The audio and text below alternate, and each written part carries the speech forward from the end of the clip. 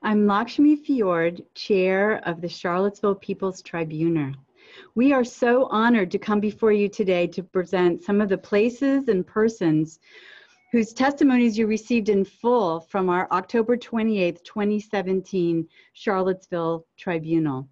These few representative testimonies speak for the thousands of people in West Virginia, Virginia, and North Carolina who now face two huge new frac gas infrastructure projects, the the Atlantic Coast Pipeline, or ACP, and the Mountain Valley Pipeline, or MVP. Because of their route choices, these most impacted peoples will never themselves receive a single kilowatt of electricity or gas from these projects. For over four years after the first shock until today, we collectively have learned one certainty. Frac gas first fractures rock, then fractures people from their land by eminent domain, communities from their present clean air, water, and soil, and counties and states along pre-existing social injustice fault lines. Both ACP and MVP disproportionately target people in places that are majority rural, low income, and majority African American, Native American, and coal, now frac gas country, Appalachians. These we identify as the four environmental justice communities whose very existence, their towns and demographics were erased in ACP and MVP application documents. Yet they are targeted to pay the true cost of these two pipelines, if constructed. Their hard-earned investments are in communities targeted by ACP and MVP to bear the heaviest per community environmental burdens of toxic hazards to health, water, air, present jobs and economies, losses of property value, and even their insurance. David Sligh of the conservation group Wild Virginia, and whose family had lived in this early colonized place since the early 1700s, testified saying, the pipeline companies want to cross through thousands of streams and wetlands and to disrupt the eco ecological health of watersheds. Cumulative impacts will affect major river basins, including the Shenandoah and Potomac rivers, the James River, and the Roanoke River. Many highly sensitive water bodies will be affected, ranging from mountain trout streams to habitats for endangered and threatened species to unique wetland communities. And construction is proposed to occur in some of the most challenging environments in the United States. The route through which the western portion of Virginia would cross many areas with very steep slopes, highly erodible soils, and records of frequent landslides. Most construction companies, which routinely expect to abide by runoff control requirements, would never propose to build in these types of environments because the standard measures simply will not protect water quality and they know it. The destruction of forests and native plants and the excavation of huge trenches for the pipelines would result in the discharge of thousands of tons of sediments and other pollutants into our waters. By digging, cutting, even blasting through stream bottoms, the companies would release more pollution and would also fundamentally alter the physical features and vital habitats in these waters. State agency scientists have stated that the natural functions of those ecosystems could be eliminated. On this map are marked the huge areas of U.S. National Forest public lands held in trust for the American people's well-being, where the U.S. Forest Service approved the ACP and MVP projects to be routed. After the presidential election, a once critical Forest Service has since given MVP and ACP rights to vary away from long-held restrictions on harms to soil, water, riparian, old growth, and recreation and visual resources. Dana Christofilos writes, over its 300 mile length, MVP would cut through almost 250 miles of forested land, or over 80% of its total route, including an old growth forest in Jefferson National Forest, end quote. The ACP route is through the George Washington and Monongahela National Forests. These exemplify violations of the rights of nature that will impact complex, diverse ecosystems that provide most needed equilibrium against greater climate change. The ACP estimates their climate change contribution to be 67 million 591 816 metric tons per year. That is the emissions equivalent of 20 coal-fired energy plants or 14 million passenger vehicles. If built, both will horizontal drill under the Appalachian Trail, part of the Natural Park Service.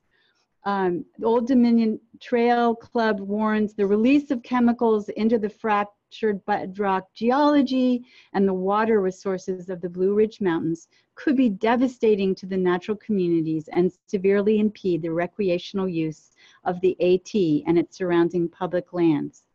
In a staggering breach of human rights, the Forest Service and Virginia State Police in the Jefferson National Forest are currently denying food, water, and medical care to tree sitter protesters against those predations by the MVP.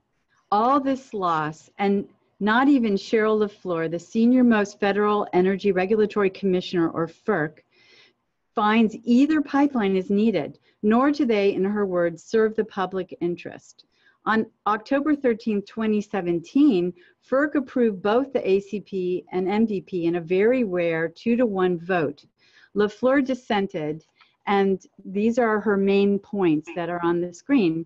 They're both very similar. They take their gas from the same source, their markets are the same, and their routes are almost parallel in some places. She's saying we are, you know, we don't need 900 miles of new frac gas infrastructure that has significant impacts karst, thousands of water bodies.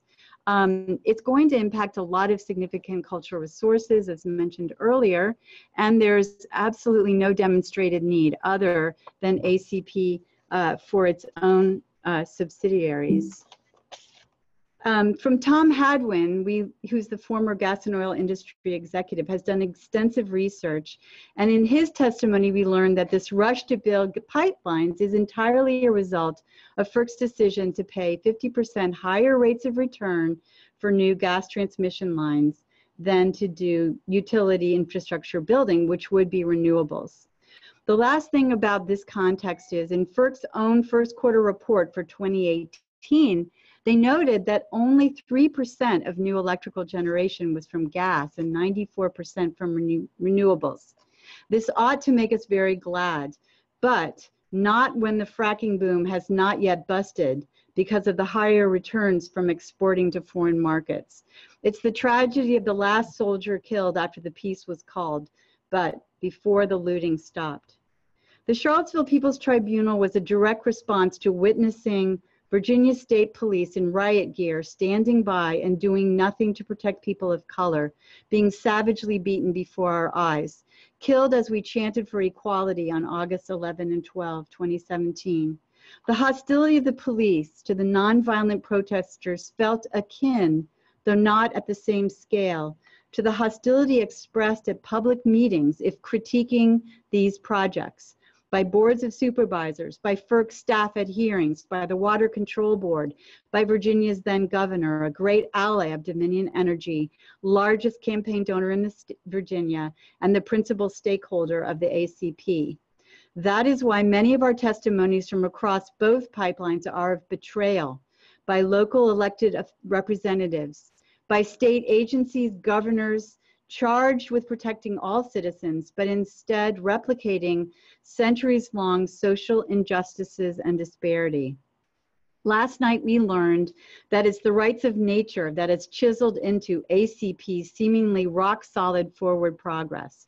And we hope that MVP's lawyers will take up this strategy.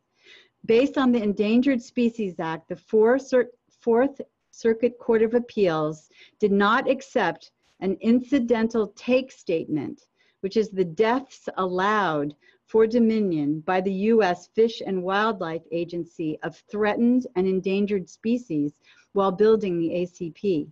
Therefore, the Forest Service and Corps of Engineers must halt all the ground pipeline activities under these permits until the defects of that plan has been remedied. In response, however, Dominion vowed to continue to press forward with construction on the pro project, according to Robert Zullo of the Richmond Times Dispatch. Thank you.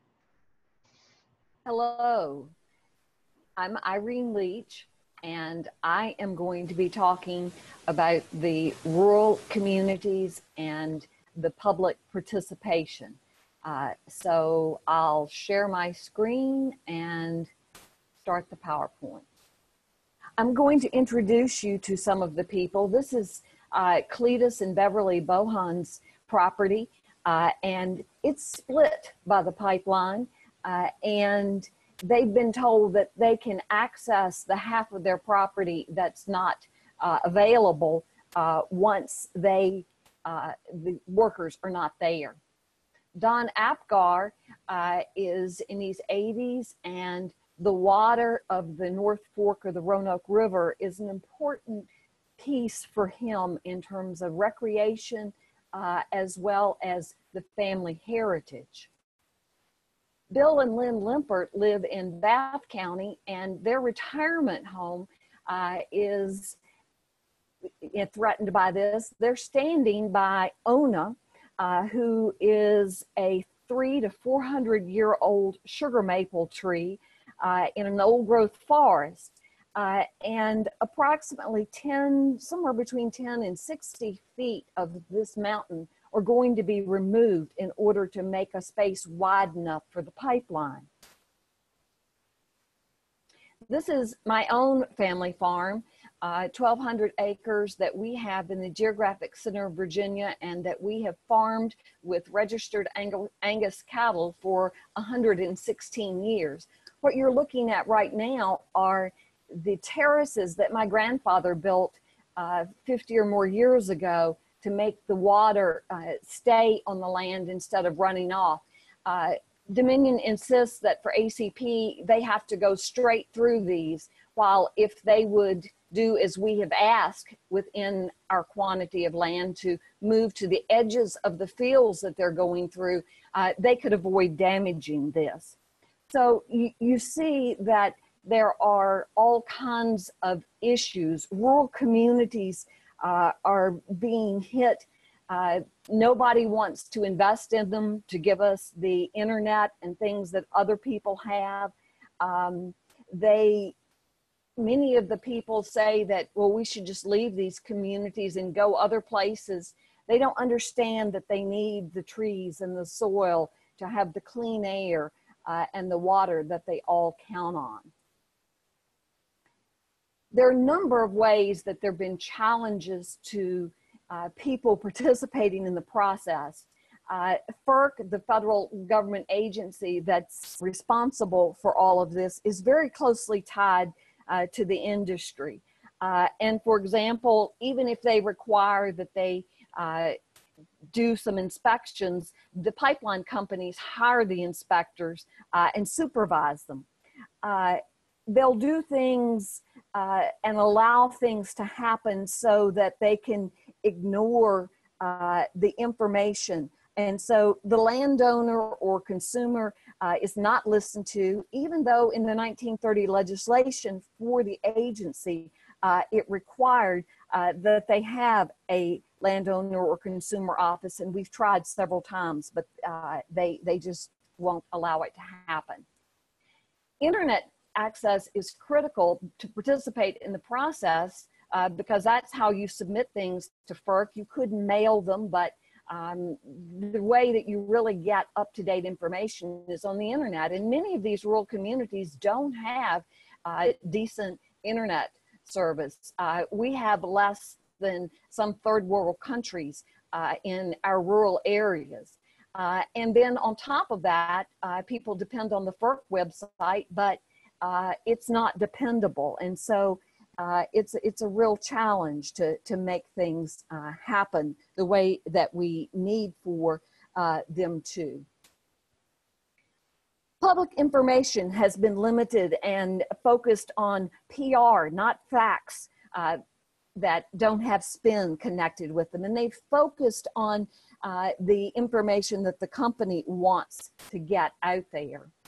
Uh, it's been very frustrating because the meetings have been arranged in ways that make it very hard for people to participate uh, in them. For example, not in the affected county, uh, requiring that people drive distances at night. Uh, and many of the people affected are elderly. Uh, or they'll have meetings during working hours when working people cannot get there. Um, they're set up in ways that are intimidating to people, uh, and the agency people who have moderated in uh, several cases have been uh, threatening to people, threatening that if they didn't stop standing against the, the wall, that they're going to close the hearing. Uh, they've also done things like require that when people come in the door, they say whether they are for or against um, the, pro the project and then arranging things uh, that way. Or they have also gotten so that now they don't want people to speak at the podium and they will require that people go to a private room somewhere uh, to say what they're going to say. And that means that the other people cannot hear what they say, the press cannot hear what they say. Uh, and so you have uh, this lack of a record. Uh, we've also seen that the transcriptions that have shown up on the FERC website are often very poor uh, and totally fail to get the message that the individuals were trying to put across. So uh, this is, has been a major problem all through this process. You've already heard that there's been no real evaluation of the need for the infrastructure.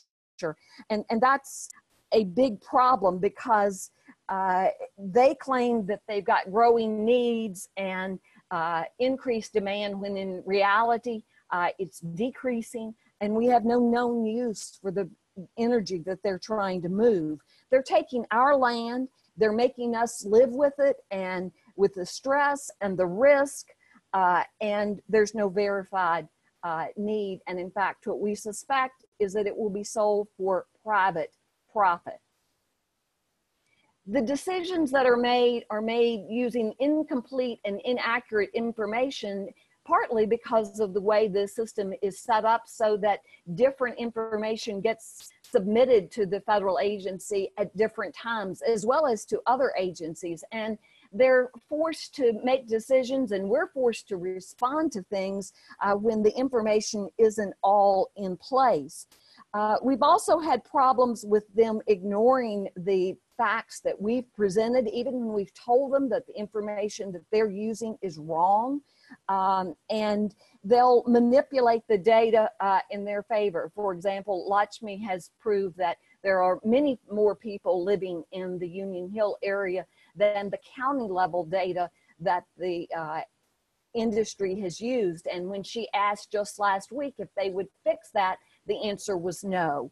Um, and they'll do things uh, like tell neighbors that people have uh, accepted an easement when they haven't. Uh, and this information issue goes all the way through this.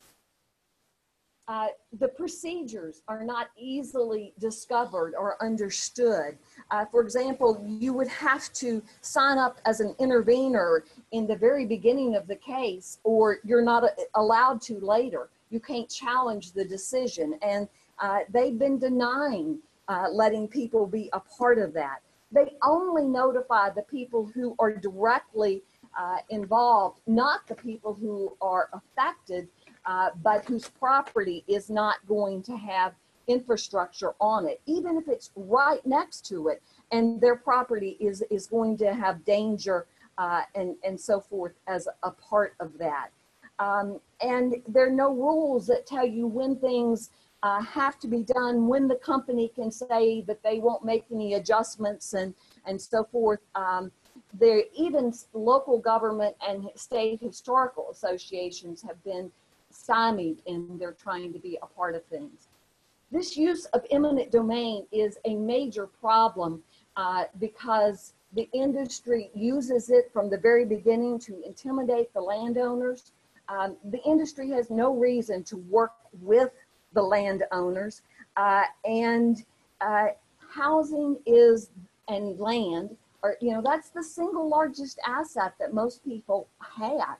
Uh, and so the fact that they could take this and that they could reduce the value of it uh, really puts some families in economic jeopardy.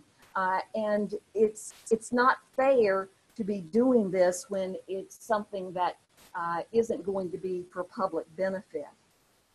The easements give the people a one-time payment, um, not ongoing income for ongoing use of their land. And that landowner continues to pay property taxes eh, while their use of the land is permanently changed. Um, there's great pressure to accept an easement early in the process, which then the federal agency takes as people being willing to do it. And yet, uh, when you wait to do it, uh, then they will not move the pipeline uh, on your property. That's a part of what I'm dealing with with my family. There's disruption of homes and businesses. Uh, for example, there's a couple in Newport, Virginia, along the MVP, who had the pipeline on one side of their acre and a half lot uh, and an access road on the other side. They've, in their 80s, they've been forced to move um, for my family business, we have found that you know they don't understand the needs of making our business continue on the land that we own uh, as they do what they're going to do. Uh, they just say, well, we'll show up when we show up, and you know we'll pay you for anything that uh, you lose as a result of that.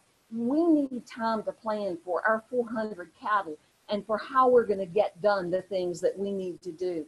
Um, but as far as they're concerned, our business doesn't matter and that disruption uh, doesn't matter.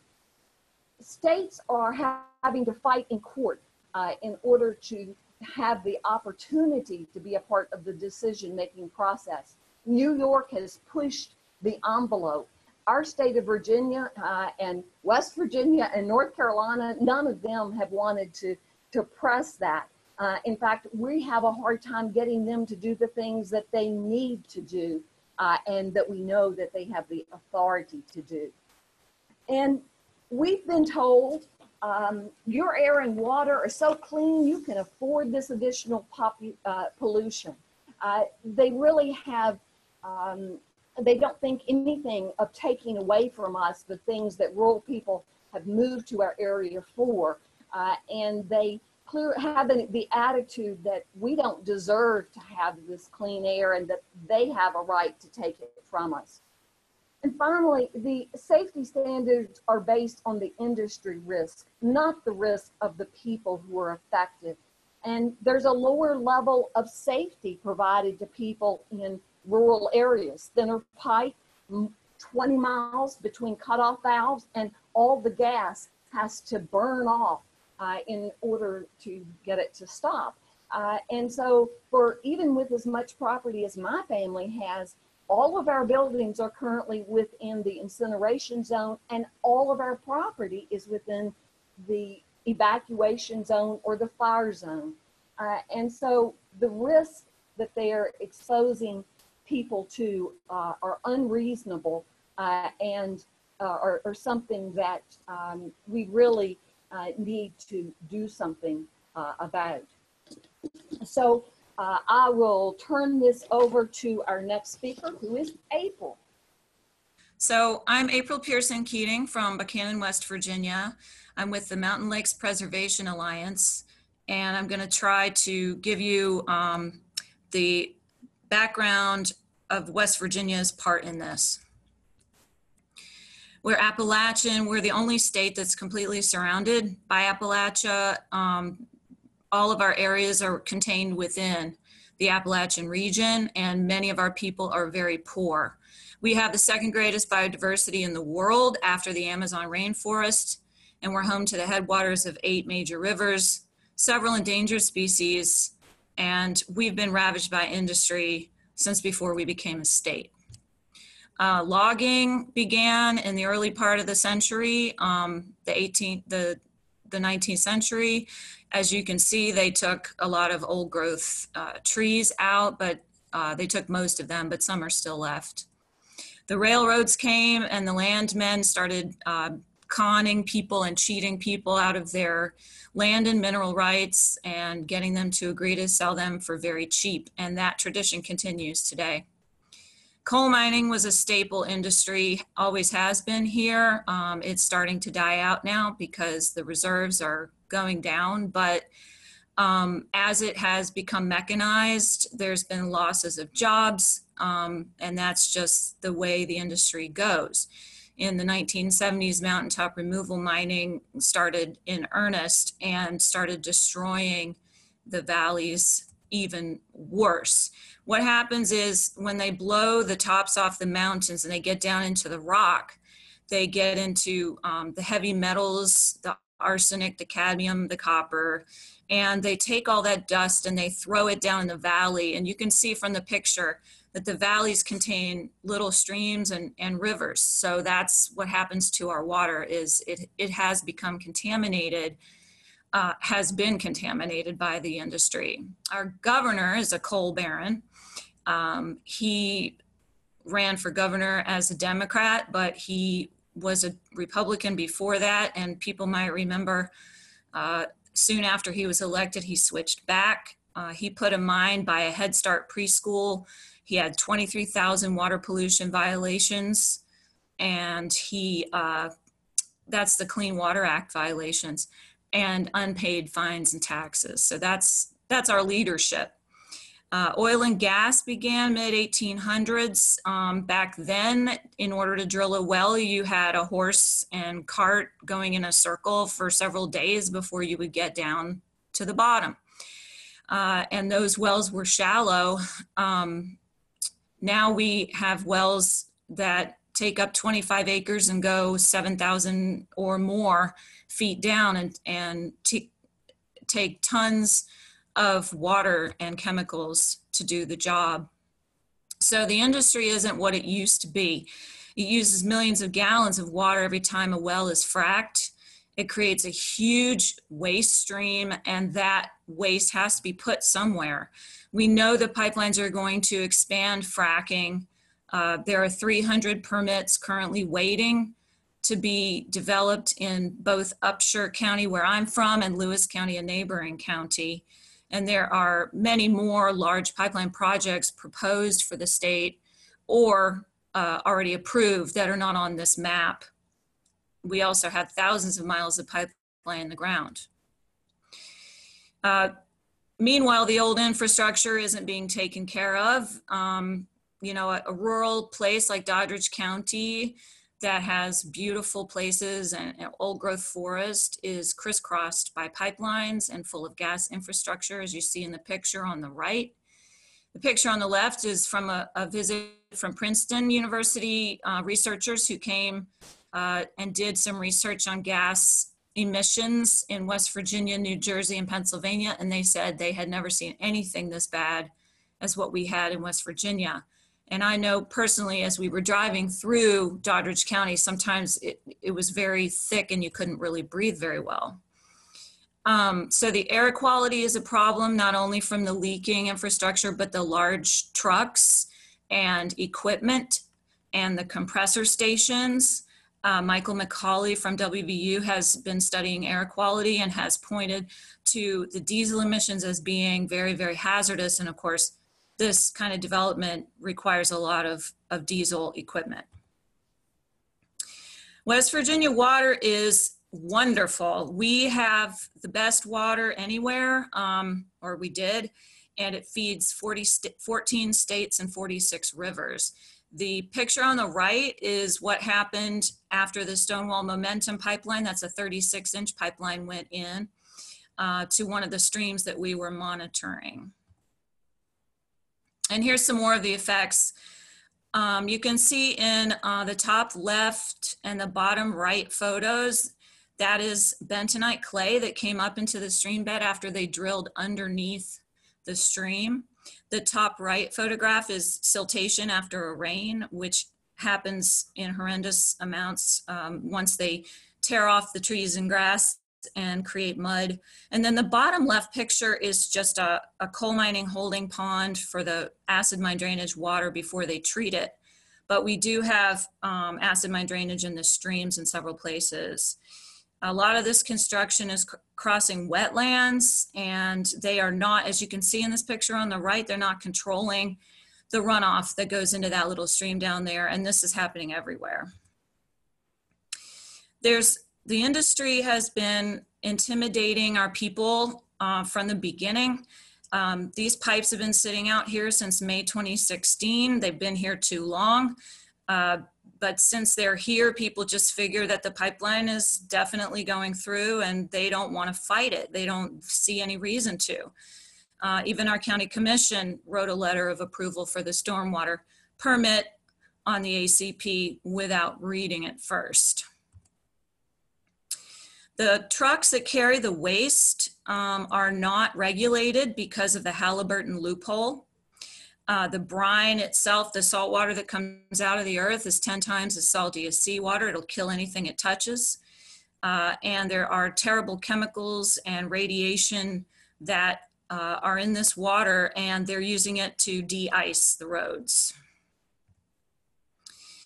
Of course, there's a danger of leaks, fires, and explosions, and this is just a picture of a an explosion that happened a few months ago in Ohio, and that fire took a couple of weeks to put out. The McLean family, this is a heartrending story. They've got a beautiful farm that they've had in their family for 70 years. Um, and they have had a lot of trouble from the gas industry development in Doddridge County.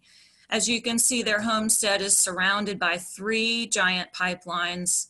The purple and the blue are the MVP and the Stonewall line, and you can see they are crossing each other, which I think is absolute insanity. And then about a mile away from them on the other side is the supply header project from the Atlantic Coast Pipeline.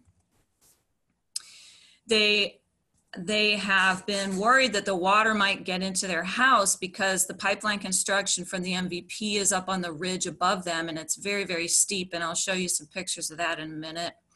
A lot of these slopes are over 50% and the, the Middle Island Creek is the longest creek in the world. This is the water that feeds Doddridge County and it contains um, mussels, freshwater mussels that are endangered. This is from a letter that they wrote. Um, to Senators Manchin and Capito and got no response. The land agent stated they would use our road and it was their right to use it. He did not care about the damage that occurred to the fences and road banks, ditches, etc.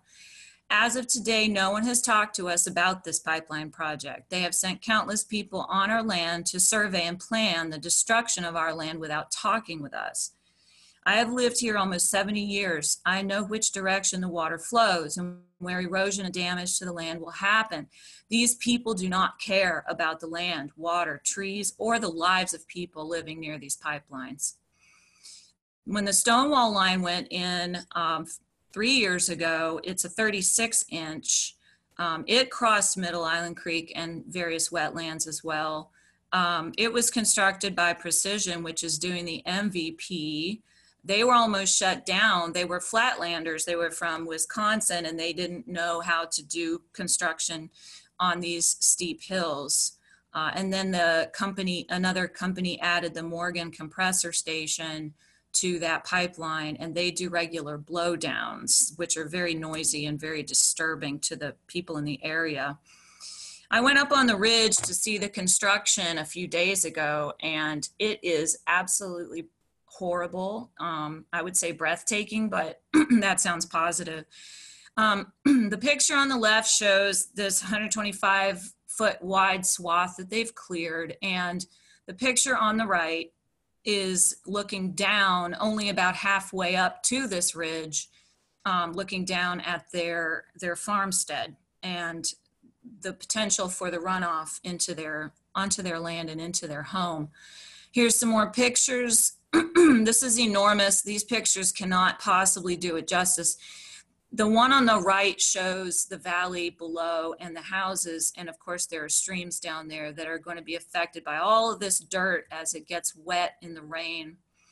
In this one, the picture on the left shows a silt fence that's supposed to protect the, keep the runoff from going downhill, but in a major rain, and that's not going to do anything. Um, they're gonna, they've cut the trees and piled them, they're gonna burn them. And there is a beer can in the ground there where they've just tossed it. The picture on the lower right, that is a spill kit. I have no idea what they think they can clean up with that. It's a joke. Uh, Doddridge County has been dealing with huge infrastructure and they just had completed this Antero, what they call Clearwater facility, but it's a frac waste processing place. Um, they're going to be taking 600, that's an average, 600 trucks per day of frac waste containing radium 226. Um, they're going to be producing a trillion tons of toxic salt over the 20 years that they intend to operate. And they think they're going to use this for food and salt de-icing on the roads. Um, this is upstream of the water source for two towns, and they think they're going to protect the water. Another aspect of this industry is the damage to the roads and the dangers. People are regularly killed when these trucks turn over and topple and fall on top of cars and kill families, children, and um, an accident just happened a few days ago out on Route 50 near Clarksburg, West Virginia. They tout jobs, they tell us it's going to be great, um, but we took some pictures of the different parking areas, and these license plates are almost 100% out of state. The fleet at the bottom is a, a, new fleet, a bunch of trucks that were just brought in, and the ones at the top, that's from back when they were doing the Stonewall pipeline and we saw trucks from Wisconsin, Louisiana, Mississippi, uh, all kinds of other places, but very few West Virginia license plates. This just continues the boom and bust economy, and the workers are exposed to things and, and not even told what they're exposed to. Kevin Campbell used to work uh, on, on the rigs, and he drove trucks, um, you know, carrying pipe and different um, pumps and supplies. And um, you know, they abuse these workers. They make them work over 40 hours. They don't let them sleep. Um, they tell them to falsify the documents. And he, he tells this horrible story of when they were pouring concrete down for a casing and it just kept on going and they didn't know where it was going and they just kept on pumping it for 30 hours straight. He later worked as an EMT where he transported people that were sickened by their water wells that had been poisoned by frac waste. The Binion family has been through it. They had um, a dehydrator in Taylor County, although the picture is from a, the Sherwood processing plant in Doddridge County, but that's where they live now. But um, they had heart problems. The, the kids in the neighborhood had nosebleeds and various other health problems. Um, the, the EPA and the DEP just wouldn't do anything. The DEP didn't even have equipment to test the air to see what was in it or how much was in it. This is one landowner who's surrounded by both ACP and MVP in Lewis County. Um, Upshur County, this is where I live. This is our high school. Um, the pipeline is 2,200 feet from the county's only high school. The class two pipe is the second thinnest type of pipe that they are required or allowed to put in. There are four thicknesses, um, and they don't apparently think that we're worth the thickest pipe.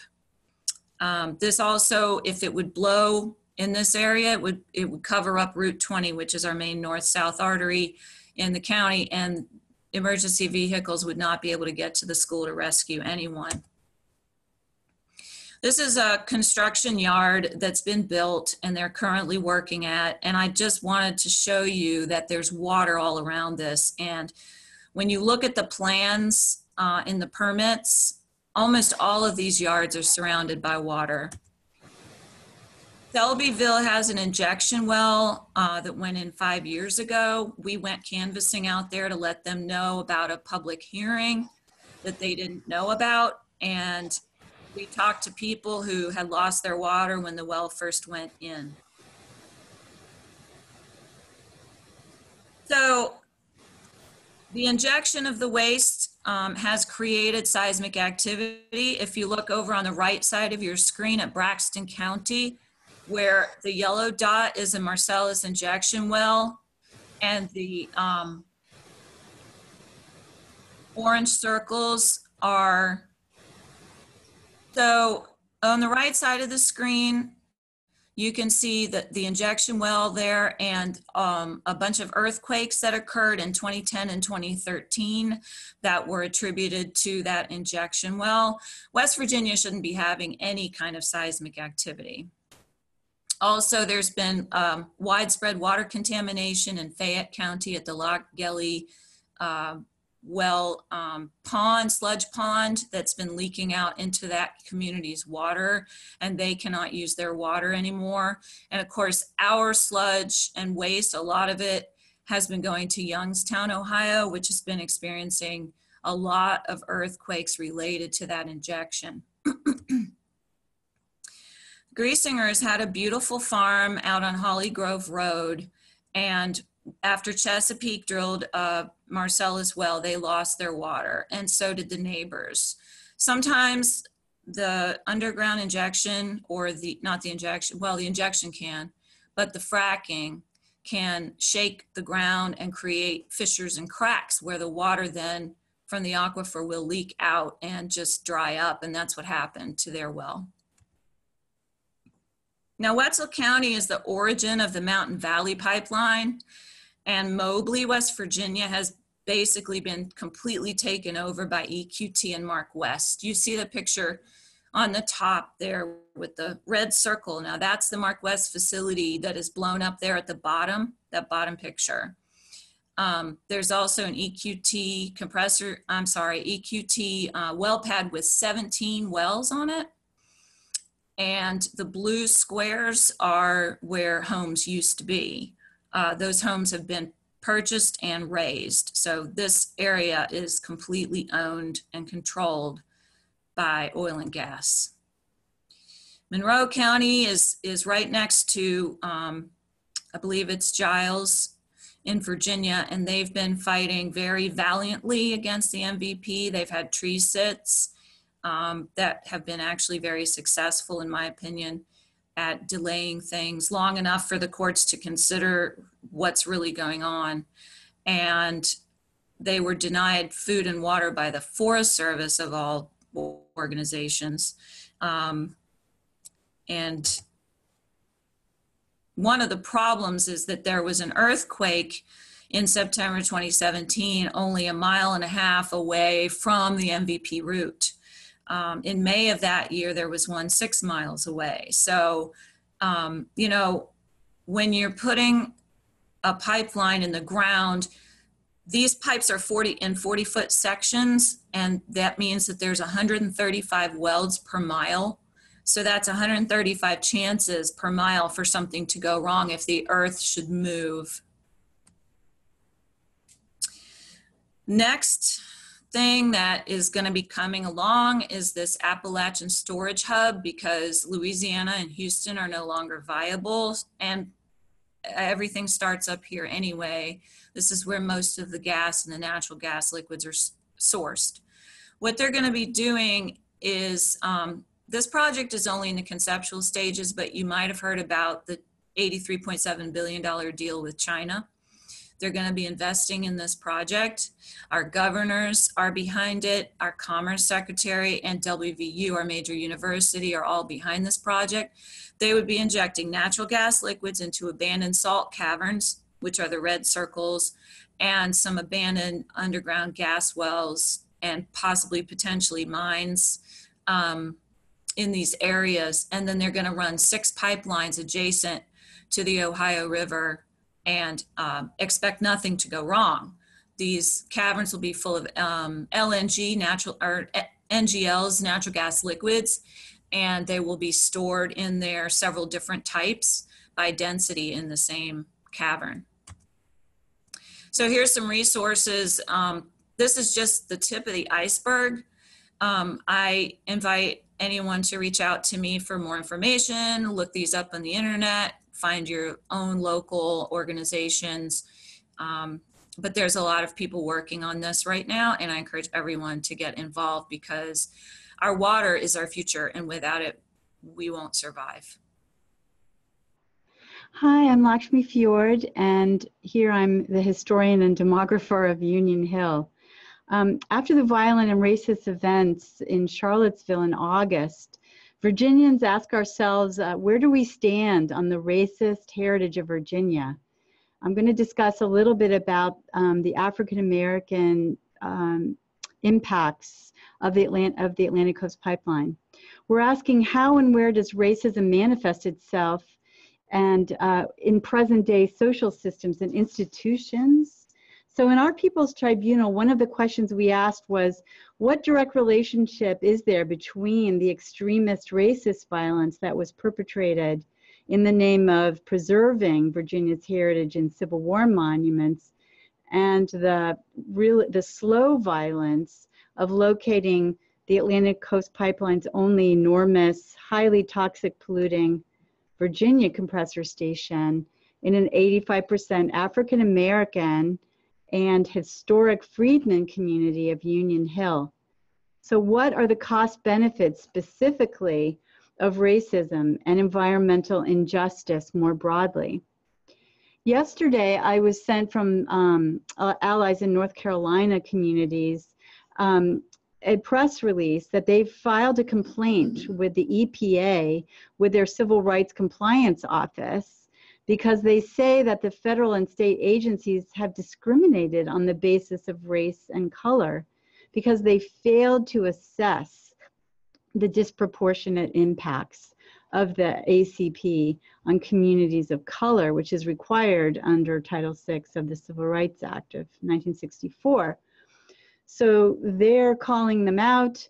They're saying that they you know, they haven't done any of the basic environmental assessments, and they are also along places where they are already experiencing a lot of the impacts of climate change and sea level rise.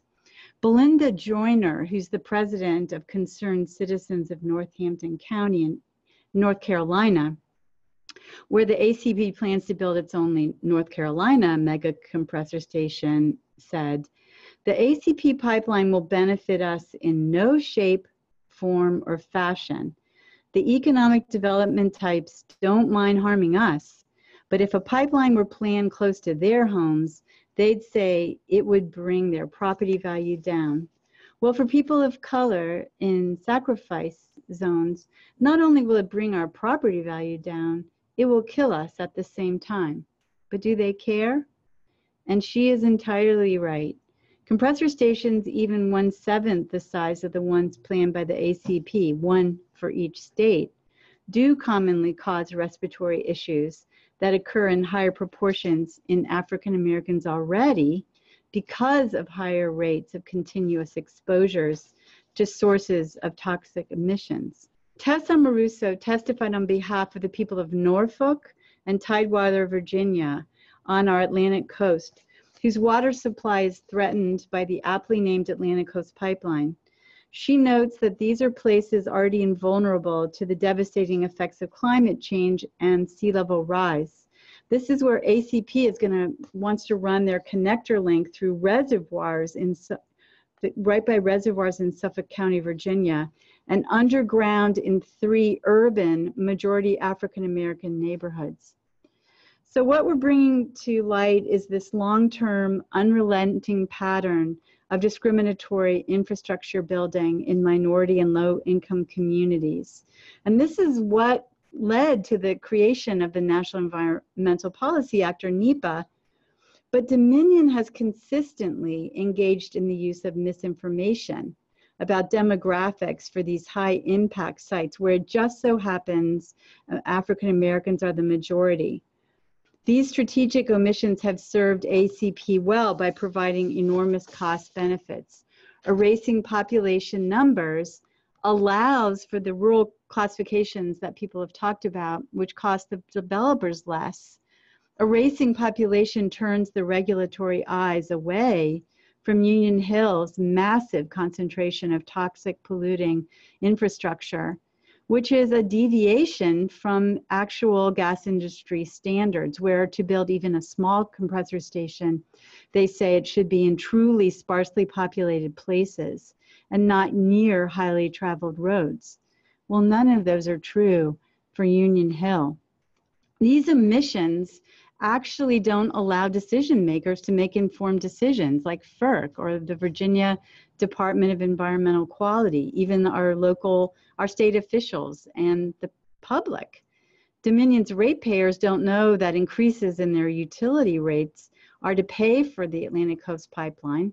And so it'll be higher cost to their wallets, but they're also perpetrating environmental racism and climate change.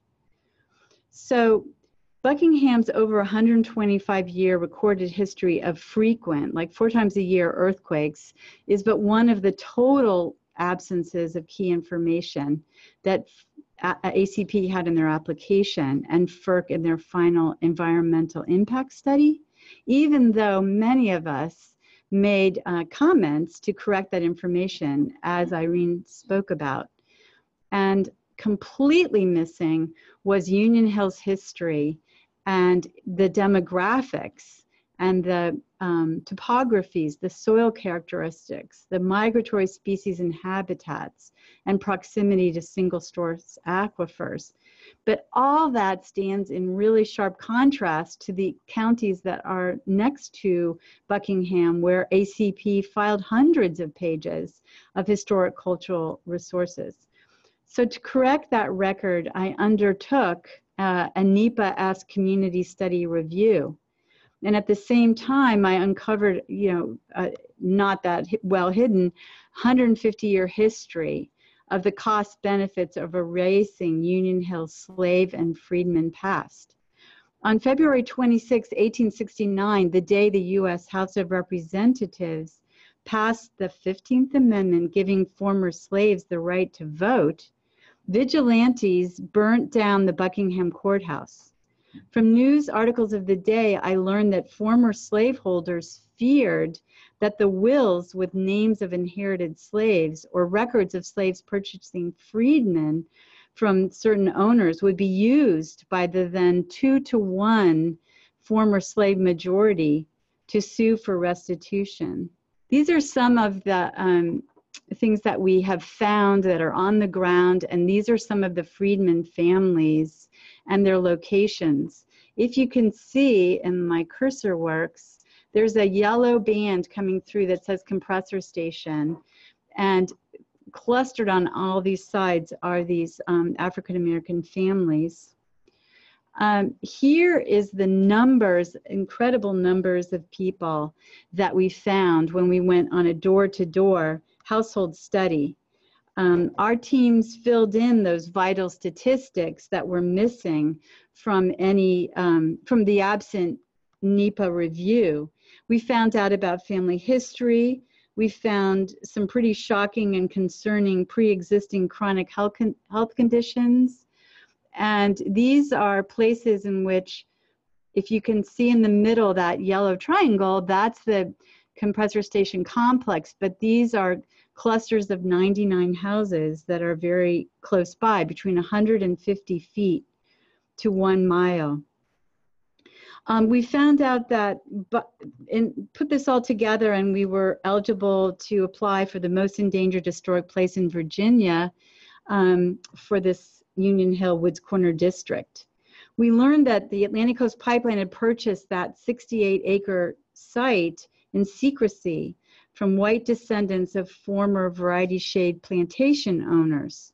Recorded in the public record were their payments of $37,000 an acre to the white plantation family, were surrounded on every side were these 99 households of majority African Americans, one third of whom are known freedmen descendants of ancestors enslaved nearby whose heritage land is meant to be passed along to future generations and has lost a lot of its value, and they may even lose insurance coverage. Um, going door to door, um, we found that as um, Irene mentioned, that the misinformation that Dominion used was the average census data for the whole county, which is 29.6 people per square mile which is just a figure. But then if you look at this, this is a square mile, and we had 500% more people living there than Dominion would admit. Um, it's a suburban level of um, habitation. And of that habitation, 85% as uh, identify as African American. We've had Union Hills residents skew in this study toward the very old and the very young. There's been two generations of outmigration of young adults to more equal opportunity ur urban places, and that's led to their leaving with their parents and grandparents a very large number of very young, I mean, zero to six age children who have respiratory illnesses. And as was mentioned, because of the present clean air and peaceful environment, says Marie Gillespie, um, her granddaughter has this these chronic illnesses, this chronic respiratory illness, and she's deeply concerned that she will then become exposed to these things, um, to the um, toxins in the air. Um, the slave burials that were originally notated as part of the um, variety shade plantation are hundreds laid out in rows and it's really very hard to see and imagine what it's like to see these row after row after uniform row of sunken uh, graves in the ground where just these two um, concrete handmade markers were placed. But with the archaeologists at Preservation Virginia, you can come to see exactly where these slave burials are. And they're also marked with, you can't really see it that well, but there's some green under that fall foliage. And that is periwinkle. And it turns out that this is one of the things in Virginia that archaeologists look for when um, trying to find slave burial sites that they've been told about. Um, in particular, variety shades, long uniform rows of unmarked burials are where we now know that Berkeley and John Wesley Laurie's ancestors lie. So I'm introducing you to um, John Laurie and wife Ruby's farm on Union Hill Road. My name is John W. Laurie. Can you step back a little? Just so you can't see your face. There we go, perfect. I grew up on my grandfather's farm. His name was Asbury Laurie, and his grandmother's name was Anna Laurie and my father name was Wilbur Laurie, and my mother name was Mamie Laurie. And far as I know, the farm was in their name, goes back to the 1800s. And I've been in, I grew up in the Union Hill, Union Grove community, and I had an enjoyable upbringing and we all learned to live off the land. We was all farmers. We raised our own fruit and farm. We grew the vegetables, raised the meats that we used. And we also attended our local schools. Union Grove Elementary School, and from there we went. I went to Ellis Elementary. Ellis Middle School, and Carter G. Woodson High School, where I graduated from. After that, I joined the Air Force, spent four years, discharged at Norton Air Force Base, and from there, I remained in Southern California after 35 years there, returned, relocated in 2003 to Buckingham, at which time I had decided I wanted to farm myself and raise cattle.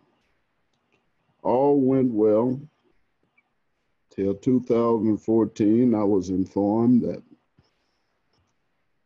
our board of supervisors and county officials had decided that they were going to allow Dominion ACP to have a special use permit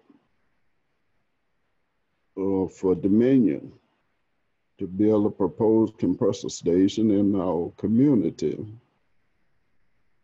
And that was bad news because that meant that in our cattle raising and our farming and also in our golden years, that was disaster for our community.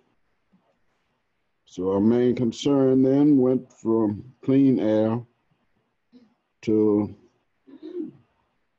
what we felt was definitely poisonous gas, underground water contamination. And these are still our major concern even today. We have to depend on our underground water source for all, our entire community as well as for our animals. And without our water, clean water, we cannot survive. So we have been fighting this monster since 2014. And we intend to continue to fight it because we want to continue breathing this clean air and drinking this clean underground water. Thank you.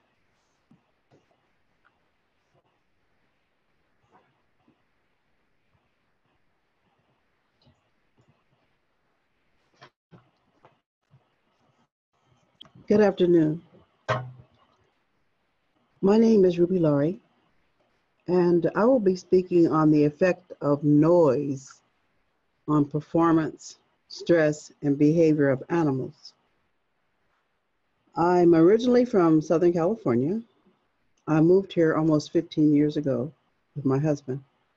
After moving here, I understood why he wanted to come back home. Buckingham is a beautiful place and one of the most quiet and peaceful. No pollution, lots of clean air, no stress.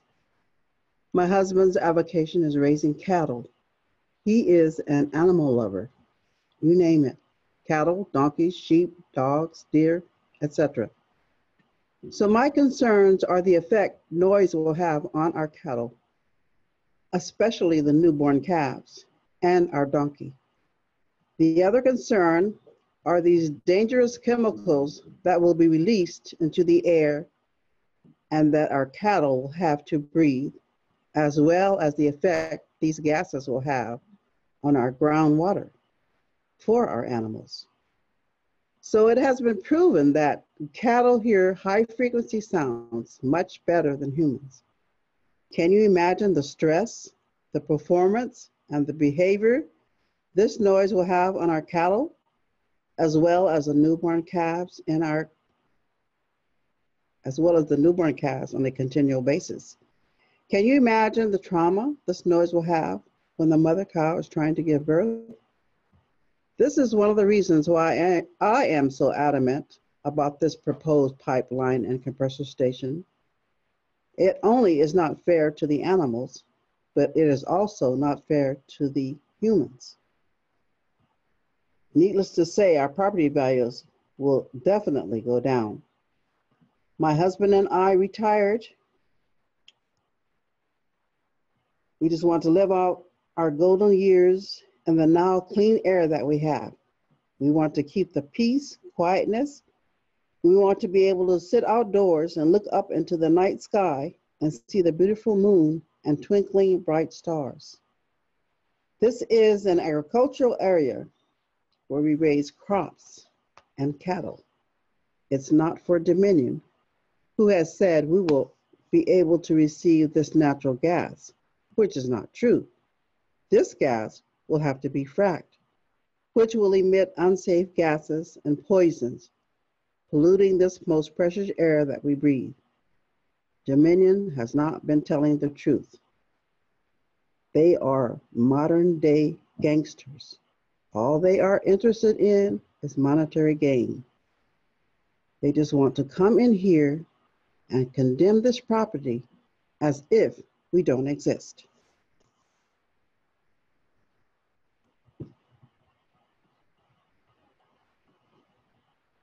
Next is Barb Gottlieb.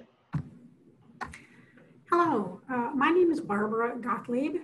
I'm the Program Director for Environment and Health at Physicians for Social Responsibility. We're a nonprofit organization with headquarters in Washington, D.C.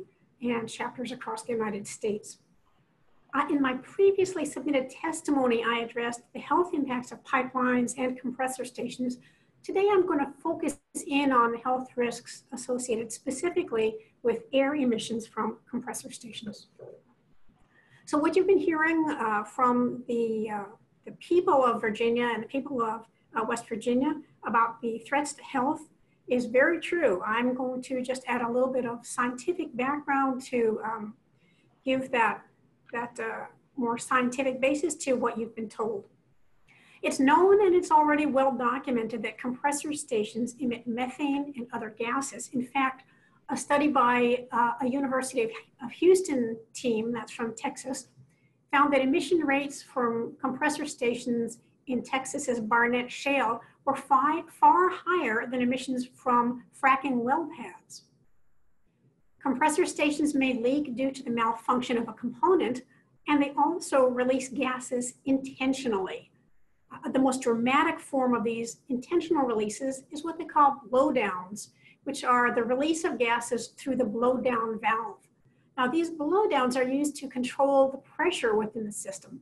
They create a 30 to 60 meter high gas plume that can last as long as three hours. Normally, blowdowns are not reflected in the estimates of emissions and the possible exposures that utility companies or pipeline companies use when they are submitting their applications for permitting. Thus, the uh, estimates in those applications are often grossly understated, meaning local residents may be exposed to far greater concentrations of toxic substances than the permitting decision assumes. I want to share with you very, very briefly the findings of three uh, fairly recent studies about leakage from compressor stations. In 2017, researchers from the University of Texas investigated emissions from natural gas compressor stations throughout the states of Pennsylvania and New York.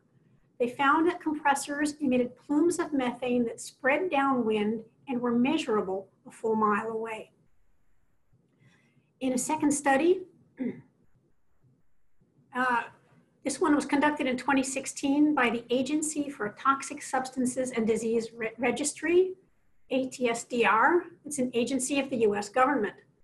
This study focused on fine particulate matter, what we call PM 2.5, and it evaluated data that had been collected by the US Environmental Protection Agency near a natural gas compressor station in Susquehanna County, Pennsylvania.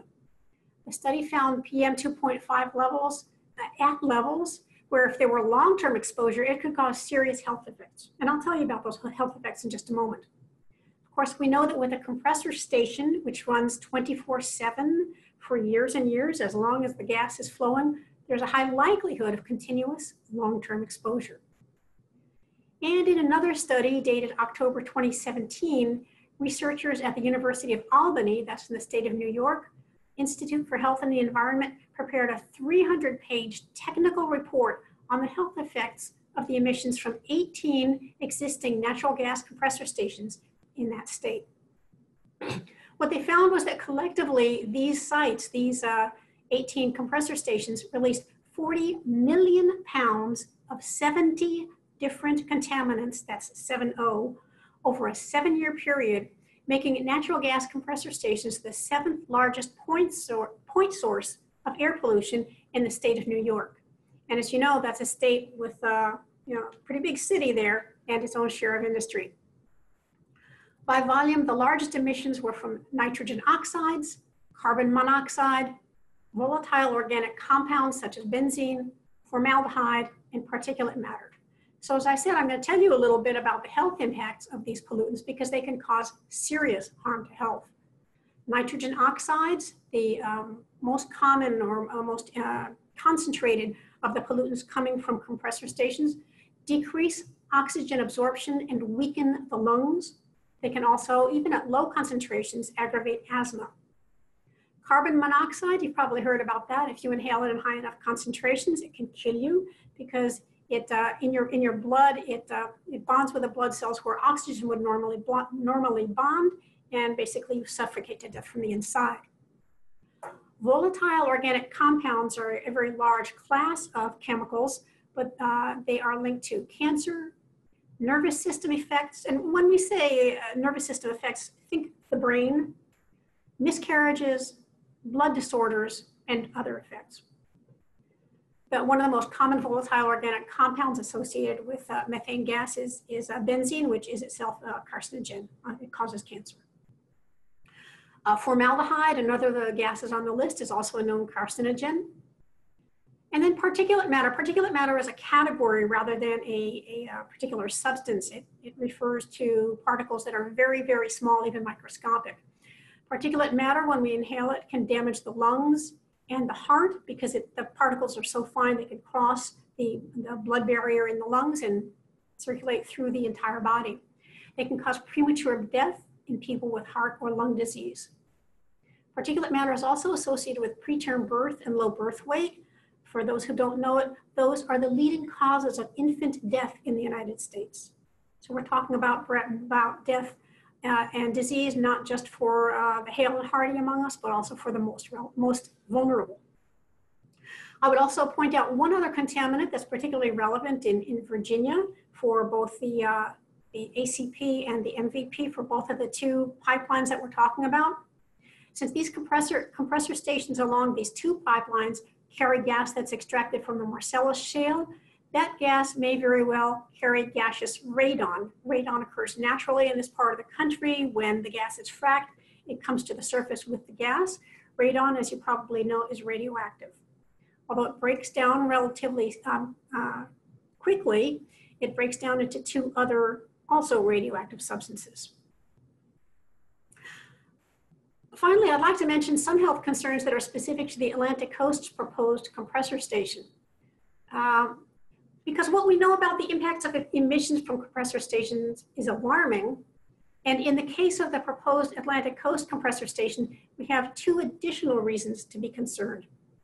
First of all, the compressor station proposed to be built in Union Hill is massive. It's huge. It has four, it would have four gas-fired uh, turbine engines with horsepower of 54,000 HP ranging up to 57,000 horsepower in the winter. That's enormous. And it's a lot larger than most of the other compressor stations that are built. Compressor stations are typically placed about every 40 to 70 miles along a pipeline. This proposed compressor station would be so powerful, it would be designed, excuse me, it would be designed to pressurize gas to transmit over 200 miles in each direction. So the compressor station is huge. The magna magnitude of the health threats would likewise be greater. Second, all as you've been hearing from a, a number of our um, testifiers today, although Buckingham County is rural, the compressor station is not being placed in some unpopulated area. It's been proposed to be placed in a community near residents' homes and subjecting the people of Union Hill to severe threats to their health. That's totally unacceptable.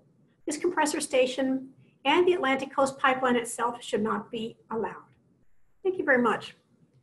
And it's my pleasure now to turn the microphone over to a wonderful activist whom I'm proud to count as a friend, Ms. Chad Oba. Chad?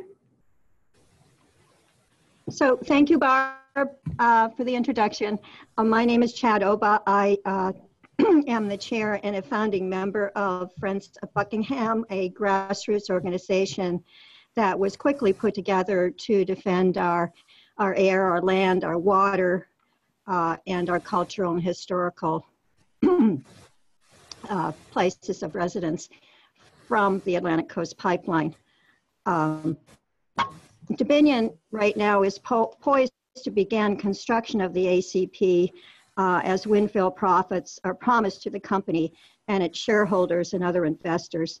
They are, no matter what, guaranteed a 14% return, which is paid by us, the, the ratepayers. But many others would suffer significant losses our costs are not factored in. Property owners directly impacted are having their property taken from them through intimidating and very misleading easement offers. Uh, they're using eminent domain for their gain and, and not for the public good. This has been mentioned in numerous of the presentations so far. Uh, and all but one county along the 600 mile length of the ACP is below medium income for the state. Uh, where I live in the Union Hill area of Buckingham County, uh, I forgot to mention that I am an impacted landowner being uh, that I'm quite close, 1.3 to the proposed compressor station, and uh, am surrounded by pipelines. I would be surrounded by pipelines. I have a, uh, a, a lateral line of the Transco directly across the road from me. Um, but landowners are being forced to give up easements while being taken to court for eminent domain. Um, many do not have the financial means to fight this out in court. And this is providing a, certain level of divisiveness within the community where I live as people try to survive as best they can. Um, and this is a, a, direct assault on determining the best use of our own property. Uh, I mentioned I live only uh, a little over a mile, my husband and I, from the proposed 57,000 horsepower compressor station, the only one for the entire state. And this is in the middle of, uh, Lakshmi had told you about an 85% Freedman found African American community. Uh, for those of us well within the blast zone and now the proposed compressor station locality, we receive absolutely no compensation for the loss of our property values on our homes and the constant 24 7 noise, but worse so, the toxic pollutants that Barb just told you all about. Um, our health was going to suffer greatly. Um, our population is mostly 65 and up, elderly, and very young children um, who often have grandparents as their caretakers uh, because their adult children have their or their parents have left the locality for work because there's very little work in Buckingham. Um, so our property is going to lose considerable value. My husband and I have lived in this neighborhood for 34 years. Uh, we own an old antebellum simple farmhouse that we have renovated to meet our own needs. Um, it is our sole uh, investment. And it is, it is, it's what we have as a legacy for our own children and to ensure that we have some financial resource uh, into the future. This will disappear due to the uh, compressor station proximity to our home. But the worst of it is, and always been my concern, are the threats to our health and safety. Uh, we pay the most with our lives and our property loss and do not get one cent in compensation. I work as a mental health practitioner in the county uh, and I have been for 25 years, and I have been witness to and experienced myself the anticipatory stress of not knowing what the future holds. This is weighing very heavily on my neighbors as they've been forced to postpone their present and future plans for their lives. Long periods of uncertainty and looming threat create chronic stress symptoms. Our body, bodies can handle short periods of that, but long periods have a, a very devastating effect on us. Um, we've been battling this threat for nearly four long years now, and it's just caused harmful chronic stress symptoms in many of my neighbors. Um, many of us, as we've mentioned earlier, are elderly and we're already suffering with health issues. Um, this further uh, causes a, a, lot of stress on, on our systems. and will shorten whatever lifespan we have left. And people are filled with dread as this is being, as trees are being cut around them. Some of the trees they began to cut and then they got a stop order. But it, it's very intimidating when you have trees coming down right next to your home. Um, and Dominion's making its intimidating presence known. Every time we get a little victory, they show up in force. Um, people out on the trucks out on the road, uh, trees being cut, whatever it takes to send their message. Um, and people are being told to make the best of it. as it's going to happen. So people, you know, get discouraged. Um, we are being denied the most basic, the most basic of human rights, health, clean air, and water, and the ability to use our own land, but also the right to be heard at all levels of government. Um, our health, our future, our lives are on the line, and they matter. Thank you for giving us this opportunity to be heard.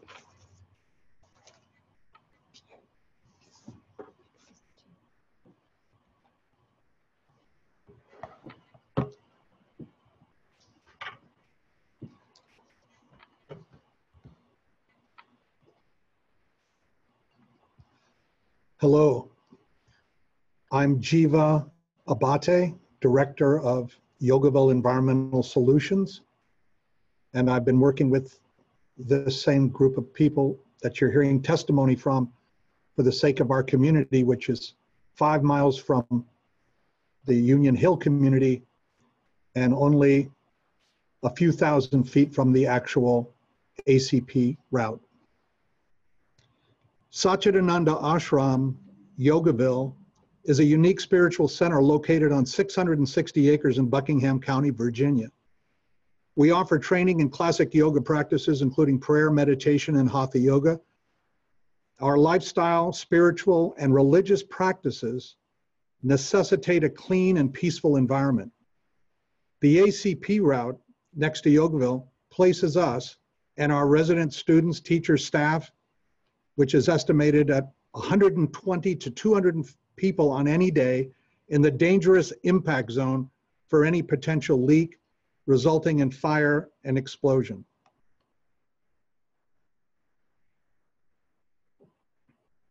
The ACP is a threat to our water, property, school, homes, our Lotus Temple in the picture here, and our ongoing operations. This is a threat to the safety, health, and homes of our friends, our neighbors, and the whole Buckingham County community around where the ACP is coming.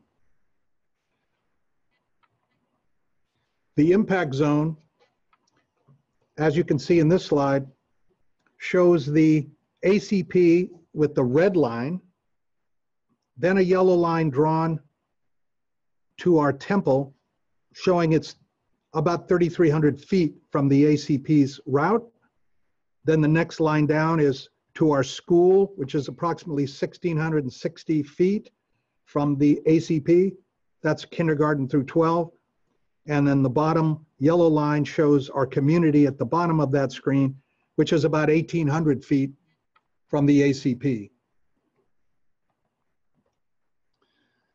This is involving the threat of fire, leaking, pollution. So it's a life and death issue for Buckingham County property owners and for Yogaville residents. We are deep in the impact zone where any fire could burn quickly. And we're going to talk about the safety issues related to that.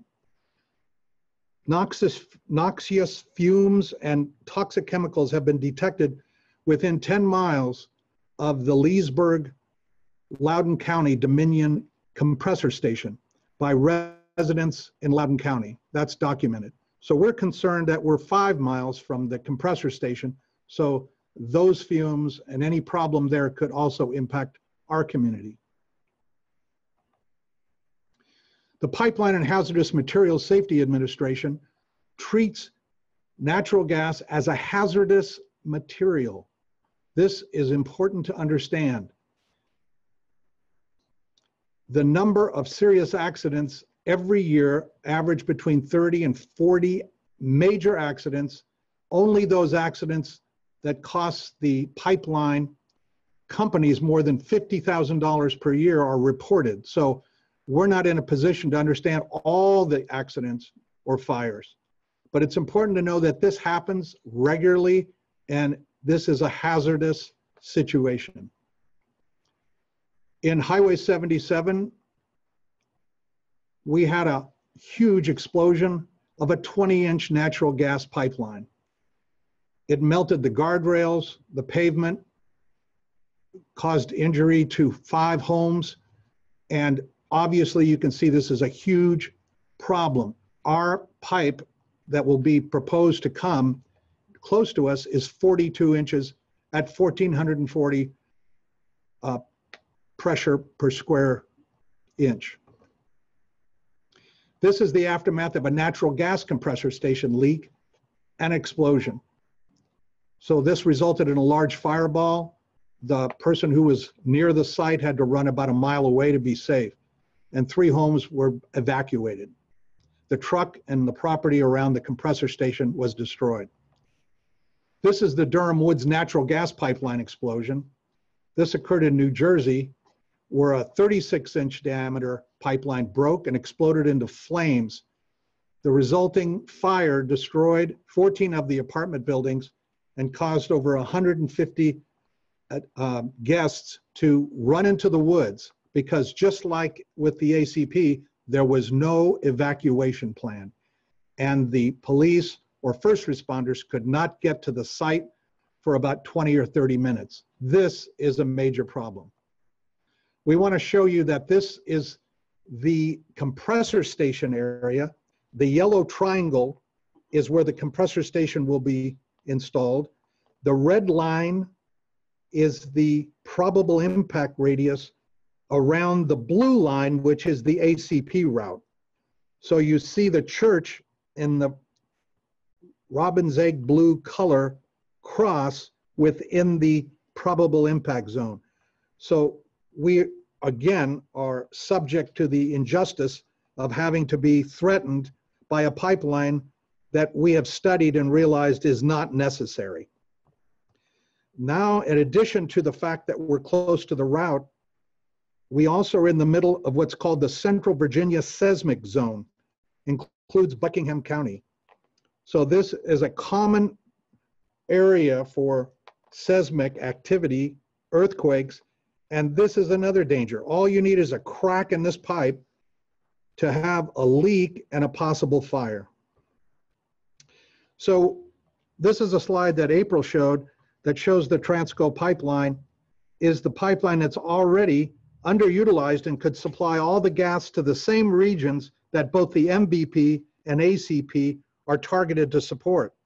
If you go to the top of that Transco purple line, you see that the Cove Point pipeline is right there running to Cove Point, allowing the natural gas to be liquefied and then shipped off site. With such a little demand in any of the domestic regions, we can anticipate that that pipeline will be used to shuffle that gas overseas, which is not a reason to apply eminent domain, and it will raise the cost of domestic gas.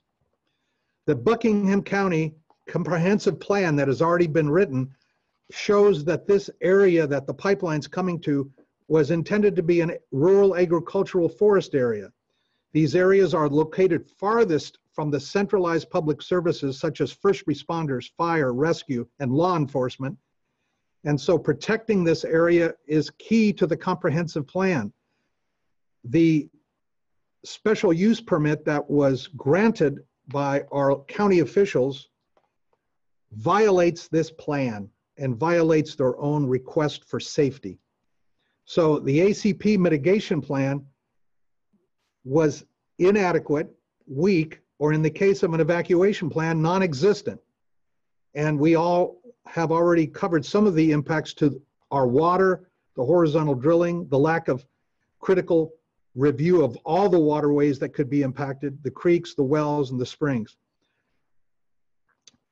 So the conclusion is that this is an unnecessary project that is an abuse of eminent domain. It's a threat to farm use, livestock, land use, legacy properties, threat to property values, threat to the rural pristine environment and air and water that we require, an impact to existing businesses such as Yogaville or farms or any new land development. So we are asking you, please protect our lives from these hazardous leaks and explosions, protect our health, our children, our elders, our constitutional right to private property, our property values and land use, and our animals and our families. Thank you. Good afternoon. My name is Swami Dayananda. I'm one of the monastic members of Yogaville in Buckingham, Virginia, Yogaville is a retreat center. Uh, community has about 275 residents, and we host about 10,000 guests annually who come for health, for meditation, and for their retreat.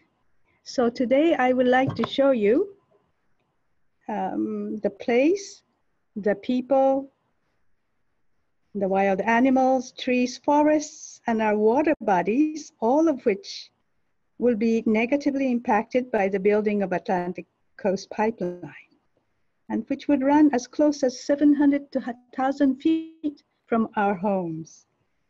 So Yogaville is known for Light of Truth Universal Shrine Lotus and Interfaith Shrine. And the entire Yogaville was founded by Sri Swami Satchidananda, who is regarded as a pioneer of the interfaith movement and as an apostle of peace. He is also one of the most revered yoga masters of all time. We practice easeful and peaceful, youthful life, starting with health, meditation, and service. So Yoga Yogaville is designed to serve as a model of how individuals of all different backgrounds can live and work together in harmony. Yogaville functions as uh, the place of principles of truth, nonviolence, spirit of dedication, environmental stewardship, and universal brotherhood. This is, these are the images from our uh, classrooms of Hatha Yoga classes for health, meditation rooms, our accommodations, and all the uh, different classes and workshops that we hold for children and adults, and some of the programs that we provide every weekend. And now we are here showing the, our kitchen, which receive organic vegetables from our own farm. They provide us fresh produce for our vegetarian lifestyle. There, these are different um, members of Yogaville, and Yogaville People also live in harmony with wild animals, deers, bears, bald eagles, and many other creatures. We have ponds, streams, over 20 bubbling uh, springs, and our Yogaville Green Team's environmental education for youths have showed that our streams host creatures which only live in purest water. This is Yogaville Environmental Solutions uh, logo, uh, which is a organization that uh, works to oppose the pipeline as well as move us toward renewable energy. The director of which is Jiva Abate, who was the speaker before me.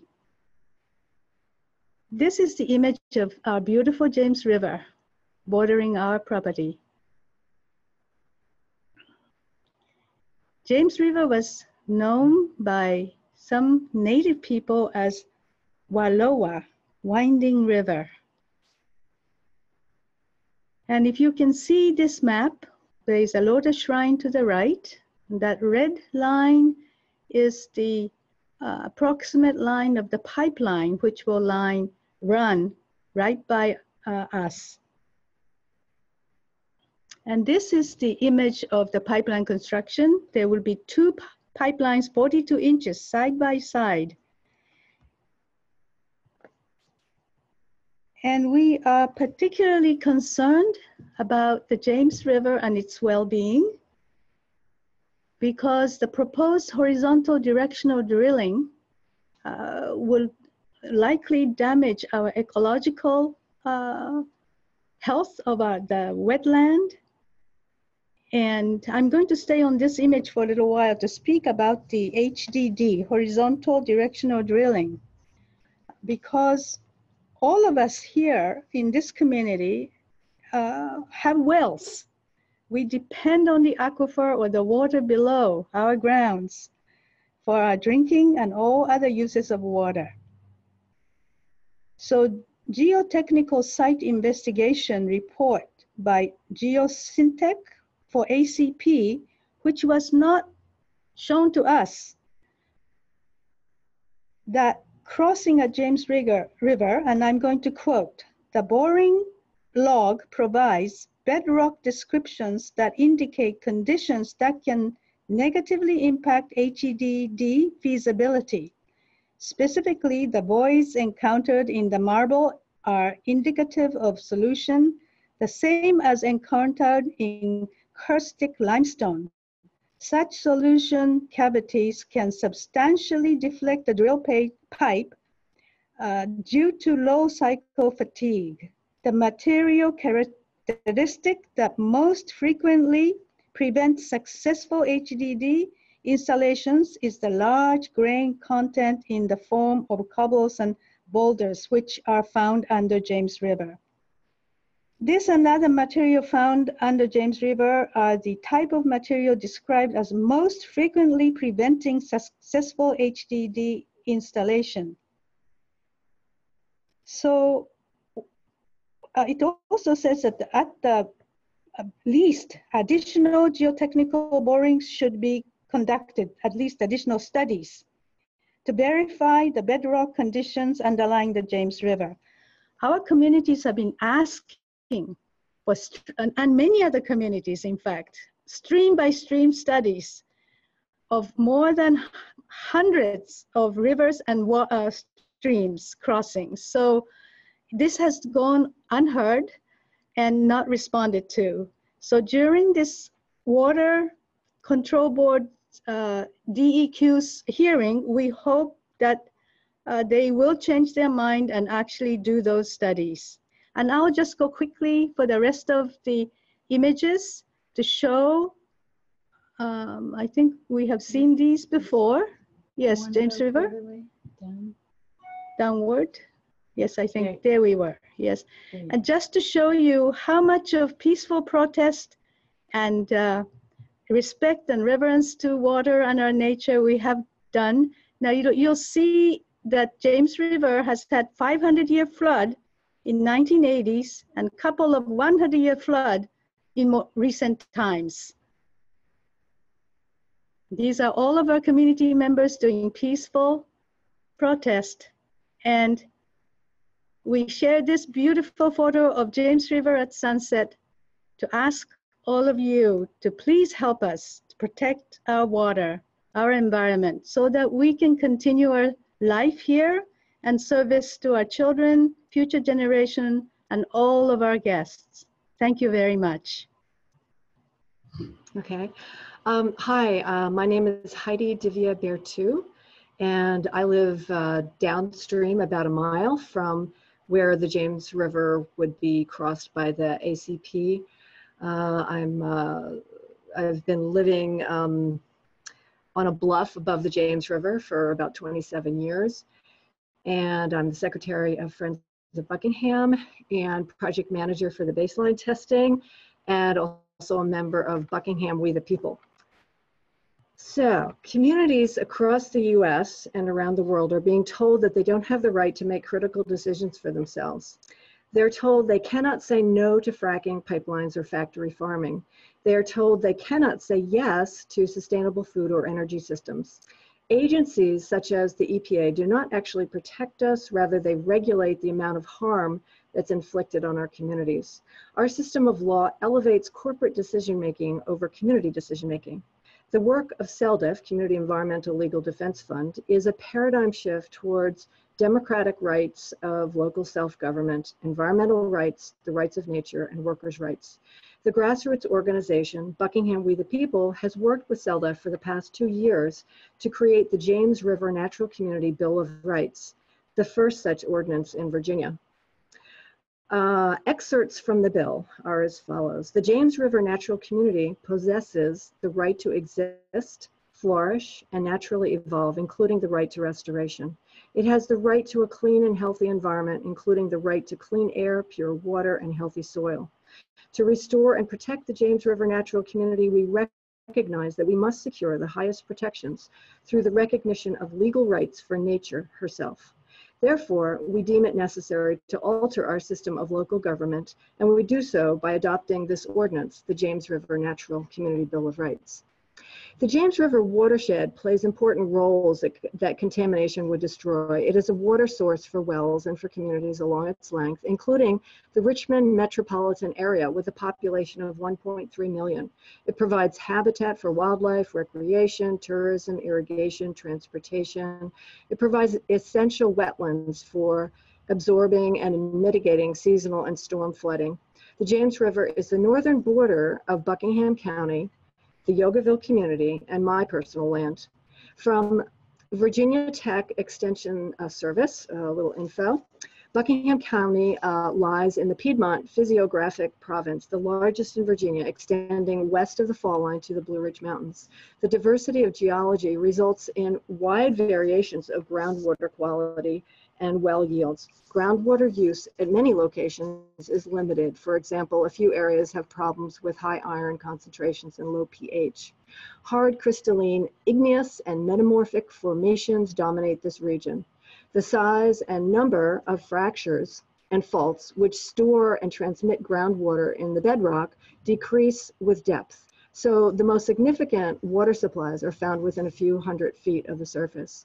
Because of the range in groundwater quality and quantity in this region, as well as the varying potential for contamination, well site evaluation and well monitoring is very important. So says our great institutions. The Mountain Valley Pipeline crosses the Roanoke River, impacting the water of 100,000 people in the city of Roanoke. The Roanoke River also feeds the lake from which the water is piped to Virginia Beach thereby affecting the water of that city of nearly a half a million people. Mni Wiconi, water is life. L'eau est la vie. Thank you. All right, I'm Anita Puckett. I'm at Virginia Tech in Appalachian Studies, and I'm a consultant on this project with the Preserve Montgomery County um, uh, Foundation, Preserve Montgomery County uh, yes, it's just Preserve Montgomery County, Virginia, nonprofit. Why can't, you know? I've said it a thousand times a day. Um, it's one of the things about being coming a little bit later is that all of these people have all contributed to my presentation and also have reinforced what I'm about to say. So I'm going to be editing as I go through this, so I'm not repetitive. And April, I am very grateful for what you said, and Heidi, you just helped me as well. And so let's move on here. the 303 mile or 488 kilometer Mountain Valley pipeline carries frack gas um, and its uh, particulate residue of carcinogens from West Virginia and Pennsylvania production fields across some of the most environmentally challenging geological and ecological terrain in the world, not just the United States. Highly diverse in flora and fauna on par with the Brazilian rainforest in its geological, biogeological diversity. It has offered hundreds of unique aquatic and floral species found only in specific ecozones supported both by sedimentary and metamorphic geomorphology. And what makes us different from West Virginia is this, metamor this metamorphic rock geomorphology because it's fractured, it's harder, it's going to require blasting and all kinds of other adjustments in construction and maintenance that aren't present in other places in West Virginia. The Virginia region, which is where I'm focusing, is impacted by the MVP, and it is still pristine for the most part, nurtured and supported by many of the long-term residents, up to nine generations in 250 years, who live there. The complexity of the biosphere has in turn led to extremely nuanced and deeply attached human, uh, uh, human ecological relations that literally attach these longtime landowners and their kin to the land around them in deeply significant cultural relationships that many label as cultural attachment or place attachment. Losing these identity relations through mega pipeline construction and frac gas transmission is destroying them and will continue to destroy them and the natural environment in which they identify because of these deeply rooted nuanced relations. These identifications have resulted historically in their being labeled Appalachian hillbillies who are deficient and backward in popular media and in the general American and Virginia governmental ethos. These deracinations have resulted in ongoing state and federal governmental stances or actual policies that are doing little to nothing to mitigate or stop the human rights degradations they are currently experiencing, uh, as others have talked about. Now, I understand the cursor isn't working, but if you look at this map, the uh, red line arc uh, separates West Virginia from Virginia, sort of, kind of. But the three little circles represent places I'll be talking about mostly in the rest of my talk. The one closest to the arc is over in Jefferson National Forest. The one in the middle has to do with Newport, Virginia, and the one on the right, the, the third one on the right has to do with Eastern Montgomery County and with the Spring Holler Reservoir that Heidi just talked about uh, and that area in there. So uh, the first area to be talked about, which Barbara Gottlieb did so very well, are the health issues. And I'm going to be borrowing from my uh, Physicians for Social Justice colleague, uh, Tina Smusz, uh, to say just a few things, because Barbara said so many of them. Every stage of the MVP, from tree clearing to construction to operation, carries pollution. It does not stop. It continues from beginning until it stopped use, being used and is pulled up again. Um, that uh, the pipeline will cross over at least 100 waterways in the watershed of the Roanoke River, serving over 200,000 people. And as Heidi just noted, we're going to get down into half a million uh, by the time it gets um, to the southeast of us. Uh, over 100,000 tons of new sediment, I think that's a low number, into the Roanoke River will come from the project. Carries long buried toxic pesticides. We haven't talked about that which can pollute downstream waters as they flood and bring out these old pieces of dirt that have been sitting there for a long time. These old pesticides will become active again. In the Mountain Valley pipeline, there is no mercaptan, no odorant. And this means that residents, wildlife, and visitors will not know when there's a leak. And so we're going to have issues in terms of uh, uh, methane poisoning that will have profound impacts. And we're not allowed to put things on the easement as well. That turns out, at least not right now. The transmission pipeline failure has increased sixfold since 2010. And on this slide here, I just put this in from Tina's presentation. And you can see that uh, you can't necessarily read the numbers. It might be hard to read. But back in uh, the 1940s, we had a lot. Then they went down, down, and down. But in 2010s, where they've just come back up and as high as they've ever been. And they attribute this to sloppy construction, sloppy maintenance, and um, uh, to just leaks and other kinds of issues because they're not paying any attention to the environment. Uh, water and species losses are inevitable, um, and the very livelihoods of local residents, as many people have talked about with the way people hunt, gather, uh, use subsistence agriculture, and other ways of getting fishing. And I just put up two that we pretty much know will go. One is the brook trout, uh, it's over in, um, uh, it's not, it's in, it's not as endangered as the Roanoke log perch, but it is threatened and it probably will be out of the Roanoke River very soon because sedimentation during construction is happening right now. The Roanoke log perch is very much endangered and it requires a very pristine waters that aren't too acidic and they're being destroyed right now uh, along the North Fork as we are having our session here today. Now I have some quotes from people, but uh, Irene uh, covered some of that, so I'm going to skip that for the moment. Um, the steep slopes in the region uh, guarantees extensive sedimentation. Over here on the right, we have an existing 18 inch pipeline easement on Peters Mountain, which is in the uh, boundary between Giles County, Virginia and Monroe County, West Virginia. Uh, this particular, it goes up to about 4,000 feet, 3,800 feet. And uh, you've got this uh, collapse of the slope that has come down because it's so steep. And this collapse has caused heavy sedimentation down into a sinkhole at the bottom. This is on the West Virginia side. The water in that sinkhole that was going underground uh, was used by an adjoining community for their public water. Their uh, filtration system had to be changed or the filters had to be changed about every three months. Now it's almost every week because of this collapse. They cannot afford it. They're going out of business. They have no water. Over on the left, if you can see it, is the slopes are so steep that construction requires that they use guy wires and cables to hold the equipment to literally dig it.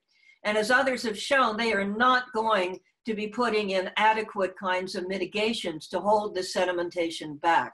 So it's going to be a major problem. They're going to, because of the metamorphic rock in Virginia, they're going to have to blast and blast a lot with dynamite. And um, we're talking about, some people are calling it mountaintop removal. Uh, Southwest Virginia finds that offensive, but nevertheless, it's something like it. Karst is, in our area, is another factor. Now, karst is, um, require, is, is created because you have sedimentary rock, usually limestone dolomite, that dissolves easily with water. And you get these expansive underground systems of water connectivities through such things, and I hope my cursor is working. You have caves, you're going to have underground streams that come out like Sinking Creek does over in the Newport area, and then you have sinkholes which come down. Now, what this means is all of these are connected. If one becomes contaminated or poisoned, it's going to impact uh, miles and miles and miles of other people's waters, community water supplies, underground species, ground species, and so on. Here is this particular slide shows a well coming down into a karst topography and how complex they are. This one is what mountain, the kind of thing that mountain, the bottom one, is what Mountain Valley is doing. What they're doing with the sinkholes is they're treating them as a static feature instead of the dynamic features that they are. So they're just pouring boulders into them and then building the pipeline over it. And I'm afraid I can't remember who talked about it. But the idea is you've got these, these, these uh, pipelines, these 42 inches, are not going to be stable in that environment because it is dynamic. And over time, it will leak, it will probably rupture. And then you have the Giles County seismic zone, which uh, April mentioned, which is an active seismic zone. And it will come in and it is a, as earthquake, as having earthquakes may indeed cause it to break. And then we will get leaks and explosions. So uh, the karst we're in an incredibly heavy karst area. And I thought Irene was going to cover that, so I didn't put my slide back in to show you where it is, but it's everywhere in Virginia and in parts of, in the Virginia sections and also in the West Virginia sections. This particular slide is one that shows you the extent and what's going to probably happen. In the upper left-hand corner is Brush Mountain, and about 25 miles away to the right is the Spring Hollow Reservoir that Heidi mentioned about.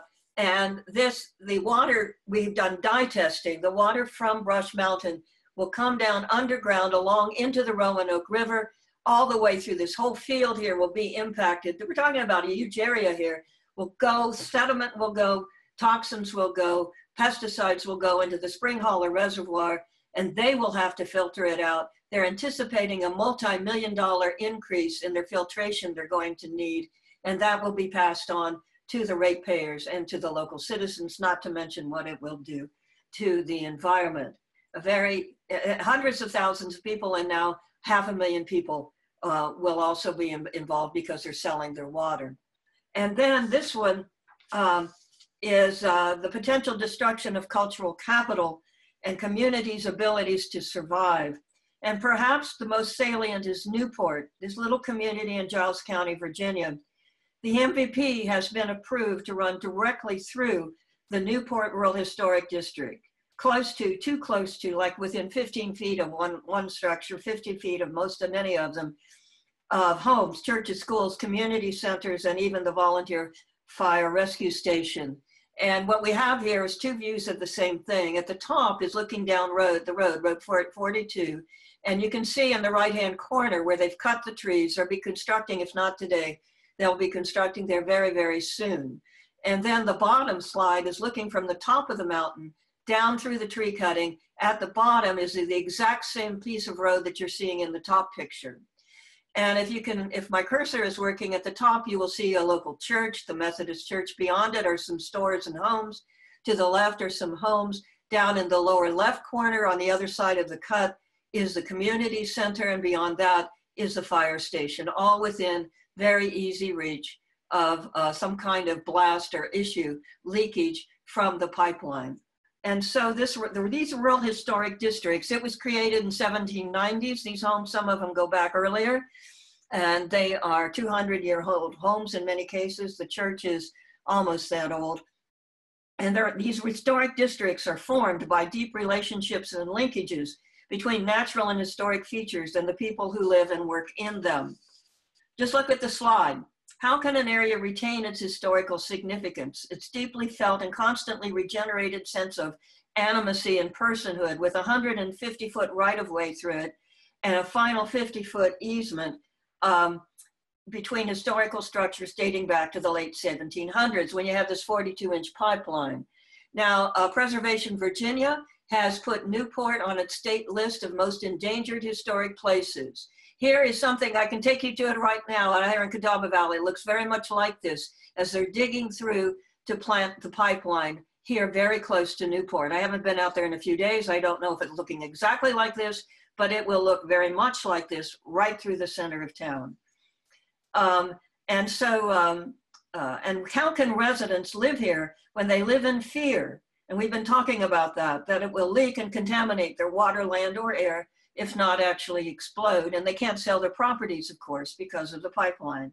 And this scenario is not unique. It's true of every actual community and culturally attached home place near where the MVP runs. Now there is pushback. We're getting pushback in terms of our own residents. All of us are doing this, but direct action has surfaced as well. Direct action for the ACP and the MVP. In our area, here we have where the corridor is going, this is over on Brush Mountain at the top is where we're going to get the, uh, the no, yeah, this is Brush Mountain, and this is where we got the Appalachian Trail at the top, and we're in Jefferson National Forest, where we currently have two tree sitters out of five total that still remain perched high in the Jefferson National Forest. And April mentioned this earlier. On the Giles County, on the Montgomery, I mean, sorry, on the Virginia side in Montgomery County is Nutty, He's about 34 years old. And on the Monroe County, West Virginia side is a man named uh, with a pseudonym of Deckard. Both of them are on Peters Mountain, which this is not, but it's close to it.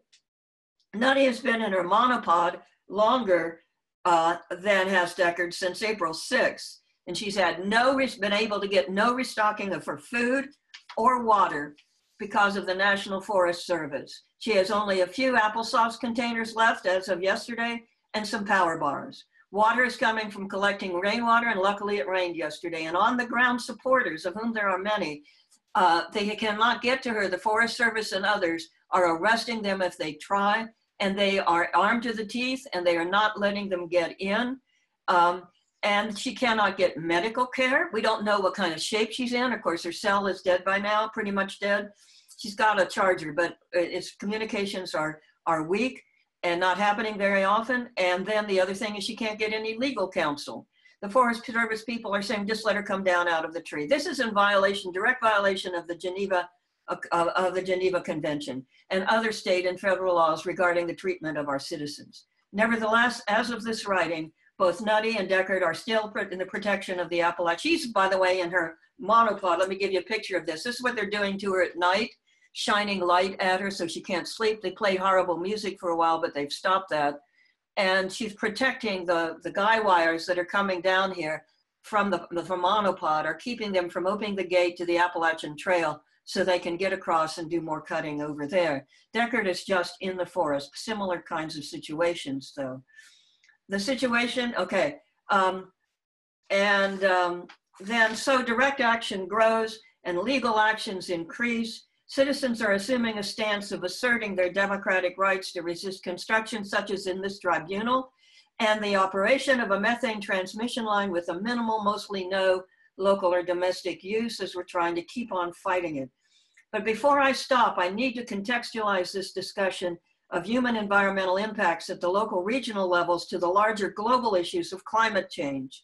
And I want to refer you to this a really fascinating report constructed under Obama's administration, and it's called A Bridge Too Far, How Appalachian Basin Gas Pipeline Expansion Will Undermine U.S. Climate Goals.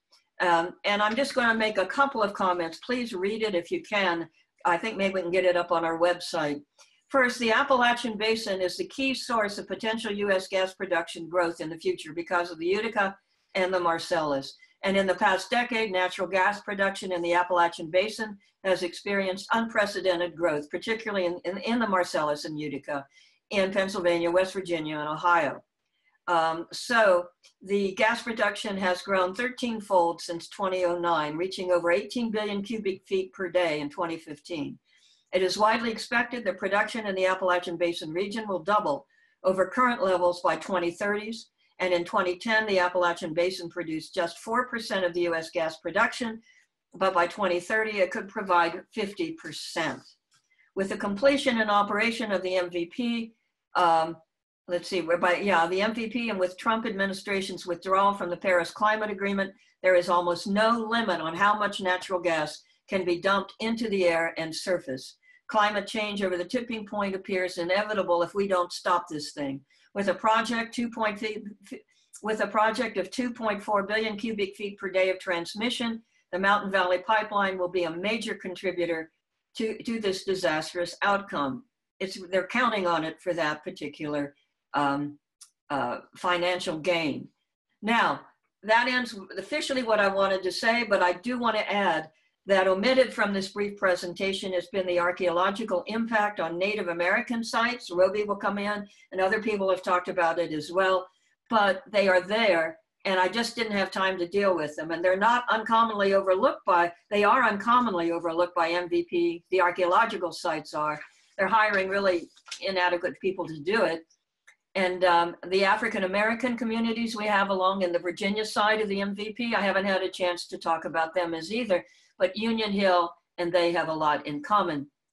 But regardless, the situation is often the same for, as it is for the whites, for rationation, dismissal, and dehumanization by a major corporation, government agencies, and several state agencies that are denying Appalachian residents full participation in democratic process. A situation, if not a condition, that continues the labeling of them, which we're hearing almost every day, as just a bunch of dumb hillbillies. And now I'll pass it on to Robbie. Um, so this presentation today is uh, for the People's Tribunal on Human Rights and Environmental Justice Impacts of the frac gas infrastructure. Um, in summary, this presentation will share the information about one of North Carolina's state recognized tribes, the Lumbee. My testimony will be detailing some of the impacts that the Atlantic Coast Pipeline will have on the Lumbee people and the tribe. Once again, my name is Robbie Goins. Um, I'm a Lumbee Indian from Robeson County, North Carolina. This testimony is based on my personal knowledge, information, and belief. I am a member of the Lumbee tribe, and my family has been in this area of North Carolina for many generations. I have seen historical documents showing that my ancestors have been in or around Robeson County area since the 1700s. My family and I have long fought for the health and prosperity of the Lumbee tribe and its community within Robeson County. Um, early on, um, the earliest European documentation of Native Americans in these communities was done by um, John Herbert in 1725, who was an English commissioner of Indian trade for the Winua factory on the Black River. Herbert identified um, the four Siouan speaking communities, which is Sorrel, Pee Dee, Scovano, and Waccamaw. Modern day Lumbees claim connections to these settlements. The Indians in Robeson County who have called who are, have been called Croatan and Cherokee are descended mainly from certain Siouan speaking tribes, but um, we're predominantly um, or Kiowa. Um, and we also have some remnants of the Eno and Shakori tribes. Um, it is also important to um, state that um, some of the families that originated here also spoke Algonquin and Iroquoian um, languages. The Lumbee tribe is a state recognized tribe um, and it has about a uh, 60,000 enrollment membership, and most of the members living here in Robeson County. Uh, the Lumbees uh, were recognized as Native American tribe by the United States Congress in 1956 under conditions that it agreed to at the time, which did not allow them to have benefits available to other federally recognized tribes. The Lumbee are one of the eight state recognized North American tribes in North Carolina that have been recognized by the state. And um, um, this this route actually impacts four or five major tribes. Archaeological evidence shows that Native American cultures have long occupied present-day Robeson County, and Indians of diverse cultures continue to reside here during the historical period after European colonization. Um, some of the home places, um, some of the people here, you know, they, they talk about home and its importance to us. Um, some of them are local farmers, and they, they say that soil gives us life. We treat the land as being one with our existence. They treat the land like dirt, meaning these developers, these companies, these corporations that are coming in, they, they, they don't see the value that the soil um, that they're building on actually possess. And then um, some other landowners in the area um, gave a quote saying, having a pipeline directly under your land means that you are in a blast zone from which you may not escape. The pipeline is already here. Our tribe has already been impacted by past pipelines. We need to be, be planning for a future, one that will not include a pipe that may fail and or corrode in the future. Um, and this is an old story of injustice. Uh, the pipeline's threat is an old story, one that my family and the community have um, been familiar with for over time. Um, the companies and government officials responsible for the pipeline have not been transparent throughout this process. And those of us who will be most affected by the pipeline have been ignored and misinformed. North Carolina of two centuries ago presented an unbroken expanse of longleaf pine. Curiously enough, they grew up a legend that only the pines of North Carolina could produce the particular grade of tar that had found such favor throughout the world. North Carolina prospered because of the legend and mon- mon- monopolized the business. It became famous throughout the world for its turpentine products. So you can see in the past, um, this region um, was basically uh, taken from its resources um, a lot of a large amount of trees for an industry, a turpentine industry that sold it to other countries for um, um, na- naval naval um, construction for their ships at, at sea. Um, right now, um, I know everyone uh, before me has talked about um, some of the pipelines and things.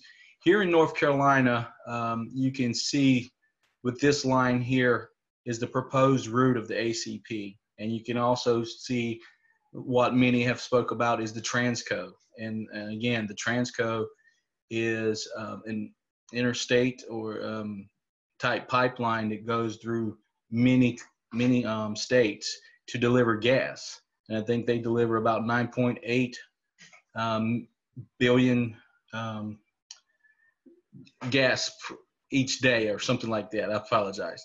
Um, but the terminus in Robeson County is here for the ACP. The, here is going to be the terminus, and this is where Robeson County is for most of y'all. Um, this is the east coast of um, the Atlantic coast is here. This is the east coast, Maryland, Virginia, North Carolina, and South Carolina. Um, again, here's here's some existing gas transmission pipelines here in Robeson County. And again, this is the proposed terminus for the ACP. As you can see, existing Piedmont natural gas pipelines, um, which basically come off the Transco, um, go right through Prospect. And this is one of the biggest communities um, that the Native Americans in this county reside. And you can also see we have other infrastructure pipe, gas pipe infrastructure that feeds most of our major major towns like St. Paul's, Lumberton, and Pembroke. Um, so some of the key players in Robeson County's gas distribution, um, North Carolina Energy Utilities use existing nas- natural gas pipelines and related infrastructure. Most use gas comes again from the Transco pipeline. Um, you have the the Sandhills pipeline, um, which comes off the Transco. Um, in 2001, it was stated by CP&L, Progress Energy's Carolina Electric Utility, made a long-term agreement for gas from Transco pipeline and now um, they've they've also fed other gas-fired power plants from this Transco. So what Duke Energy, Duke Energy, and Dominion are doing, they're trying to get an avenue to a, uh, to a pipeline where they don't have to depend on the Transco, where they can basically have control of their own destiny and have control of their own pipeline.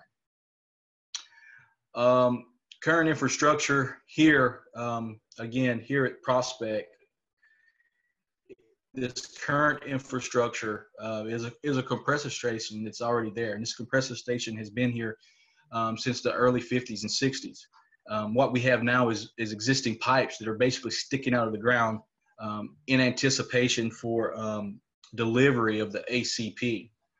Um, the, the ACP would attach to these, and then that would create another streamline for the gas to go back and forth this way to Wilmington, this way to Charlotte, North Carolina, where there are both gas-fired power plants on each end, um, with one being the Smith power station and one being the Sutton steam plant. So um, proposed infrastructure, Pro Prospect, the Prospect Pembroke compressor station, this thing right here is also going to get um, an M&R station. Um, in this proposal, they're planning to bring an M&R station, a metering and regulation station here to Prospect, which also emits emissions, um, just like the compressor station and what others spoke about um, previously. there's emissions coming from the compressor station now there's going to be emissions from the M&R stations in the form of blowdowns and, and things like that. Um, so this is what's coming here to Prospect. Um, uh, sorry. And, and, along with a uh, 350 foot tall communication tower lit and blinking at night. And this is coming to Prospect. For Native people, the open sky both day and night is a natural and cultural resource. The proposed tower will obstruct the open view in our community of Prospect and for miles around. It is not in harmony with the natural beauty of Prospect community. Here you can see the high consequence area um, that will be created with the uh, introduction of this M&R station and, um, and coupling that with the compressor station. If you can see here on the left side of the road is where the M&R station will go. The right side is the compressor station. This line is the ACP, and it's coming in to the community of Prospect, and, and we'll be meeting there. Um, this is really relevant um, for my family, um, especially um, because for my family, um, we're concerned about this possibility of an explosion from the new infrastructure. Pipelines are not immune from accidents and they are vulnerable to natural disasters that are common in the area, such as hurricanes and flooding. This area of North Carolina received a huge hurricane just two years ago in the form of Hurricane Matthew that left um, many without homes, uh, many flooded, some even lost their lives. And in 2000 in New Mexico, a pipeline explosion killed 10 people the size and pipeline that's coming here to, to this area is, is actually the same size as that pipeline. My brother's home is on the edge. Um, if you can see adjacent basically right here in this corner. My, fam- my brother's home is at the edge of the blast zone. The blast zone, if you can see, is this purple area. This is just the blast zone. I'm sorry the, the smaller purple is the blast zone. The actually the bigger area is the evacuation zone. So he's on the border of both the evacuation and blast zone in this area, which is adjacent to this compressor station. Uh, like I said, pipeline incidents occur annually throughout the U.S. We've had two incidences here in Robeson County on the Piedmont natural gas line since 2014. It again, it was in St. Paul's, and in St. Paul's up here and in Lumberton, North Carolina. so compressor stations, uh, metering regulation stations are common sources of methane leaks. We know that, and the, and the leaks um, pollute our air. Robeson County, especially Prospect Community, will become one of the most dangerous locations along the route of the ACP. For approximately 125 to 150 years, my family has lived on that property adjacent. My brother and his family now live on that property, and I live about two miles away. So our family is very concerned about the possibility of this explosion. and there, there are other approaches to infrastructure. I mean, for us, the Native American community um, view it differently than modern in industrial um, companies um, for the approaches to develop based on two traditions. Um, for relationship with nature, we want to preserve and restore it, store nature. They want to extract it and contaminate it. Um, with relationships with the land, source of life to preserve. Theirs, it's a resource to maintain, for material gain. Business ownership, uh, we want it to be more local and tribal. They want it to be absent, national, international. And that's, that's one thing they're trying to do with this pipeline is take this gas to these exports to, to be a competitor into the world market. Um, they're competing with Russia on that on that on that platform. And other relationships to climate change, the great cleansing has begun. Halt all further fossil fuel development, particularly shale and methane gas. They say they're denying climate change and they promote shale and they promote shale, sorry, methane gas, the only remaining fossil fuel where profits can be maximized by the industry. And again, this is uh, just some th- alternatives that Robeson County could be looking into biomass, solar. We're big on that in this region, and also landfill gas and fuel cell. The Atlantic Coast Pipeline, um, in their um, final environmental impact statement to the Federal Energy Regulatory Commission, FERC, they uh, they they gave some some bad information or incomplete information. There are three North Carolina tribes noted, we, we noted inaccurate and incomplete assessments in final draft statements, and we requested formal consultation with the federal regulators. Federal regulators ignored requests for consultation, asked the developer to communicate with the tribes instead. and then um, the final statement in 2017, it mentioned tribes by name, but did not correct inaccuracies or address all tribal concerns. Decision on the federal permit is currently pending, but decision making documents lack tribal input. So, um, FERC, you know, approved, I think, this permitting process, and it's it, it they have they don't have in, in, in, they have incomplete information to back their decision up. And for impacts for Native Americans, um, there are 30,000 Native Americans that live within one mile of this proposed route, uh, and uh, which is 25% of Native North Carolina Native population. So that's 25% of our Native population in North Carolina being affected by this route. Um, that's 13%, um, for, and it's 1.2% of, of the North Carolina population and 13% make up the total population of, of the people affected. Um, some of the tribes along this route that are affected are the Lumbee, the Coharie, so Haliwa-Saponi, and the Meherrin. Federal regulators ignored corrections to flawed analysis and denied and denied that Americans, Amer Native Americans are disproportionately impacted by the route. Instead, federal regulators concluded that poor and minority populations would not be disproportionately affected that's a a lot of people affected along this route right here. so um, some of the um, organizations that we've worked with in the past have have like been the Advisory Council on Historic Preservation, where they in their own book or own proceedings give us as an example of of of being discriminated against by the U.S. government. Uh, it talks about us getting um, recognition in, in 1985, but then getting federal recognition in 1956 with special benefits. and so the advisory council uh, say that while a statutory requirement exists to include Indian tribes and NHOs in Section 106 consultations, federal agencies should remember that non-federally recognized tribes can and often should be involved. Their contributions to the process can include a deep knowledge of the history and resources in their homelands. And they give us the Lumbee of North Carolina. Um, we have occupied their this pre present day homeland for generations. and there's other um, other books, other uh, reports that talk about the flawed environmental justice analysis by Dr. Emanuel.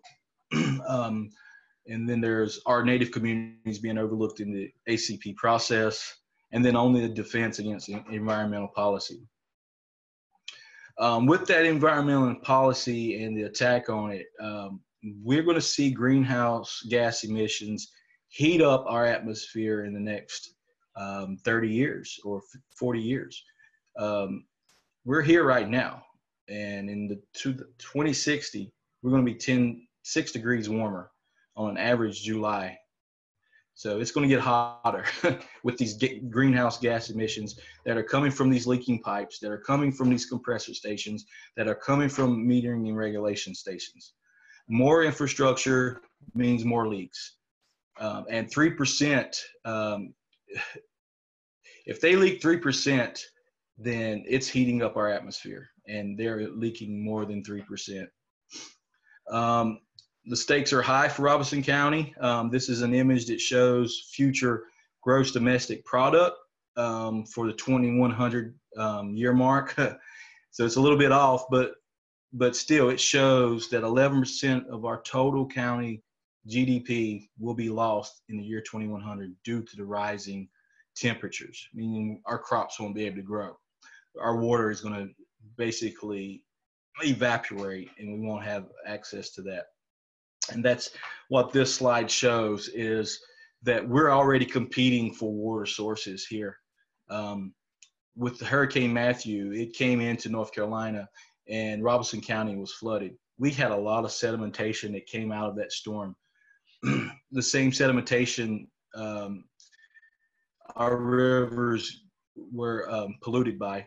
That same sedimentation is going to come from construction of Atlantic Coast Pipeline if this hurricane Matthew would have hit when these guys had opened up these holes into the ground and scarred uh, Mother Earth, there would have been way more sedimentation along the banks of the Robs of the Lumber, Lumber River and other rivers leading to the Atlantic coast. And so there would have been more sedimentation going into the coast and affecting marine life. Um, for American Indian health outcome disparities, um, some of the racial disparities, we have higher infant mortalities. Our life expectancy is lower. Um, we have decreased access to health services. Some critical data, American Indian mean average age in younger is younger than the major majority population. We have higher morbid, morbid, morbidity of diabetes, hypertension, asthma, and arthritis. And some of the social determinants, 22% live below the poverty line.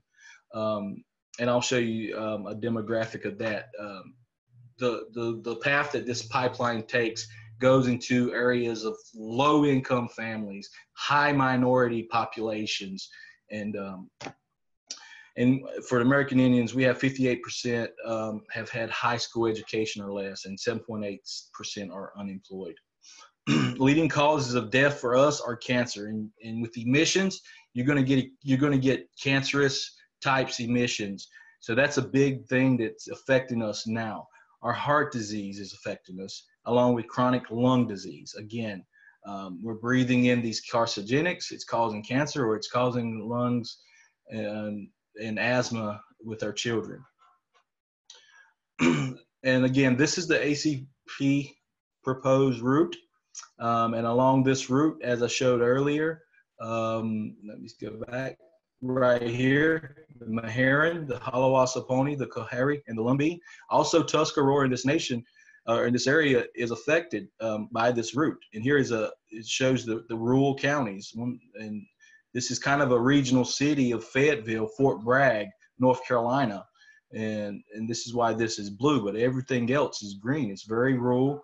It's affecting people's farmlands. It's taking people's crops, uh, land that their family have been growing crops on for centuries. They, it, this, this is going straight through their land. Um, and local disparities, again, are increasing infant mortality, decreased life expectancy, and decreased access to services. So they're bringing all this pollution in, but they're not trying to, to give us anything to combat it. As I said, um, there are basically five tribes that are affected um, the Haliwa-Saponi, the Meherrin, the Coharie Lumbee, and the Tuscarora. and for sovereignty of our indi- indigenous peoples. Since the time that human beings offered thanks for the first sunrise, sovereignty has been an integral part of indigenous peoples' daily existence. Our sovereignty leads to self governance and requires no less. And this is a picture of um, some of our local tribe members at a um, powwow, a festival, um, celebrating um, either spring or fall um, ceremonies, thanking thanking the Creator for all that He's given us. so, for conclusions, um, federal regulators omitted tribal perspectives from decision making by ignoring disproportionate impacts and requests for consultation. Developers do not give a complete picture of the project impacts. Um, and and speaking on that, they they're telling us um, that they want this to this gas to help them fire keep their gas fired power plants operational. Um, that's not true. Um, we know that this is a competition to get world dominance in the natural gas realm. Um, we've we've got Senator Burr on record. Um, he's a North Carolina senator saying um, they're trying to compete with the Russians in 2015. We've got recent legislators in South Carolina talking about you tell us which direction we go. We may go leading to Georgia to another export. So that's that's some of the things that these corporations aren't telling. And for the Lumbee, um, one of the things is they've got a Piedmont natural gas which they can tie to. And this Piedmont natural gas pipeline has already added another pipeline because it's an existing pipeline. And the ACP excluded that out of their application. So they wouldn't have to um, um, do anything uh, mitigation for crossing the Lumber River. Right now, it comes short of crossing the Lumber River, but it crosses a lot of its tributaries. And like I said earlier, with the Hurricane Matthew, if we've had that kind of an event when operations were happening, a lot of sedimentation would have would have got into our waterways. So here in Robeson County, at Prospect, at the the current site, we are already seeing that our air has been affected, our water is being affected. Um, someone spoke about noise. This 1400 psi pipeline that is pushing gas through it is a, has a hissing sound. You can I can hear the hiss from my brother's doorsteps of this gas just being pushed through this pipeline, and that causes anxiety uh, around the communities. Um, so, um, so tribal members do not feel secure in their persons and property as they Uh, as they are intimidated and threatened with eminent domain in regard to their land. Community, family, and individual health depends on maintaining strong connections to healthful and intactful ancestral lands and environment. Conversations with corporations do not equate with consultations. Government to government consultation is required. In the case of the ACP, that would mean consultation between FERC and the Lumbee Tribal Council. The UN Tribunal, these are some recommendations, um, should draft resolutions calling on the U.S. federal and state regulators to, not, to deny all permits until impacts on the Lumbee and other tribes have been fully assessed through accurate analysis and meaningful government to government consultation help the U.S. to create a tribal climate resilience plan to prepare for economic, health, and other impacts of hotter summers, increased drought and damaging floods. The UN should also request the U.S. government to work with tribes like the Lumbee to help create a sustainable economic development plan in partnership with local governments. There's other alternatives. We could be doing a lot more with that. um, so Next, as I said, tribal consultation. Give tribes seats at decision-making tables. Ask regulators to comply fully with consultation recommendations of the federal government, of the state government, of international bodies, UN Declaration of Rights, of indigenous peoples. We need cultural impact studies. I was just out at a site just last week and we were um, digging and we found artifacts, um, arrowheads, um, other tools, pottery. of ancient peoples that have been around the Lumber River, the Lumbee River of North Carolina. So there's still remnants of our ancestors just lying around, lying about. And these people are coming in, cutting through our trees, cutting through our land, haven't did any type of cultural impact study, haven't did any archaeological, meaningful archaeological studies to determine if any of our lands are impacted culturally. So um, I'd like to give special thanks for some of the local Lumbee members who shared their stories and valuable information. Um, and those are Dr. Marianne Jacobs, Mr. Herbert Eddie Moore, Dr. Ryan Emanuel, Dr. Cherry Beasley, and Miss Donna Chavis. All right, so um, if anybody has any questions, um, you can ask um, about that. And I just like to point out that the current infrastructure that's Oh, you got one more? yeah, we have we have um our our judge Adrian Hollis is waiting. Oh, okay. that was all right. great. Thank you. Thank you. Good afternoon. My name is Dr. Adrian Hollis, and I'm served as judge at the um, People's Tribunal in Charlottesville on October 29th. Today, you've heard only a small portion of the impactful testimony shared with the impartial three judge panel. That tribunal lasted almost 12 hours. And what is really important to know is that the majority of participants and attendees stayed the entire day, which underlines, as nothing else would, the importance of the tribunal and the seriousness of the issues.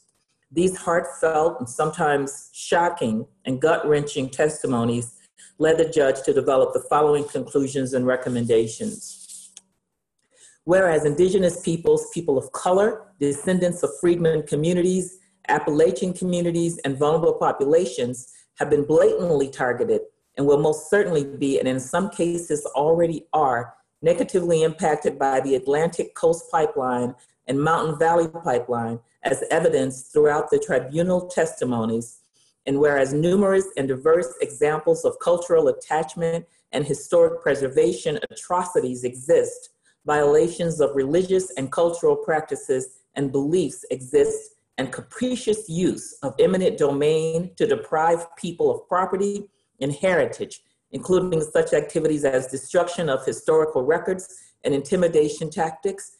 And whereas there was a consistent and pervasive lack of public participation, lack of opportunities for public input and access to information, such as the denial of access to the wireless tower planned by the pipeline and the denial of consultancy status to Preservation Virginia under Section 106 of the National Historic Preservation Act, and whereas there are numerous threats to the built environment, including places of faith, roads, highways, driveways, and homes, many of which are located within the blast zone and have existed for generations, and whereas water is put at grave risk because of the continuous crisscrossing of the proposed pipelines through rivers, streams, groundwater, and wetlands, and that under current regulations, pipes in rural areas are dramatically thinner, putting our water at tremendous risk. And whereas many witnesses have testified to the release of greenhouse gases from pipelines and compressor stations, adding to climate change and therefore harming the environment and adding to the burden both locally and globally. And whereas all of these insults negatively impact the health of humans and all living things, especially the most vulnerable, women of childbearing age, pregnant women, children, the elderly, and the infirm, this tribunal strongly recommends that the state of West Virginia, Virginia, and North Carolina, along with all environmental agencies, should suspend all actions, undertake necessary thorough investigations, such as environmental, cultural, and health impacts assessments with real voice and real vote from the community, and immediately cease and desist eminent domain actions.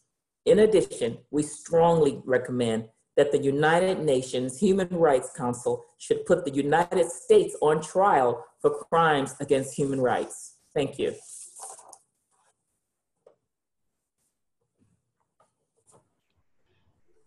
Thank you so much, Adrian, for staying with us. thank you for your incredible patience and um, understanding with the technical problems.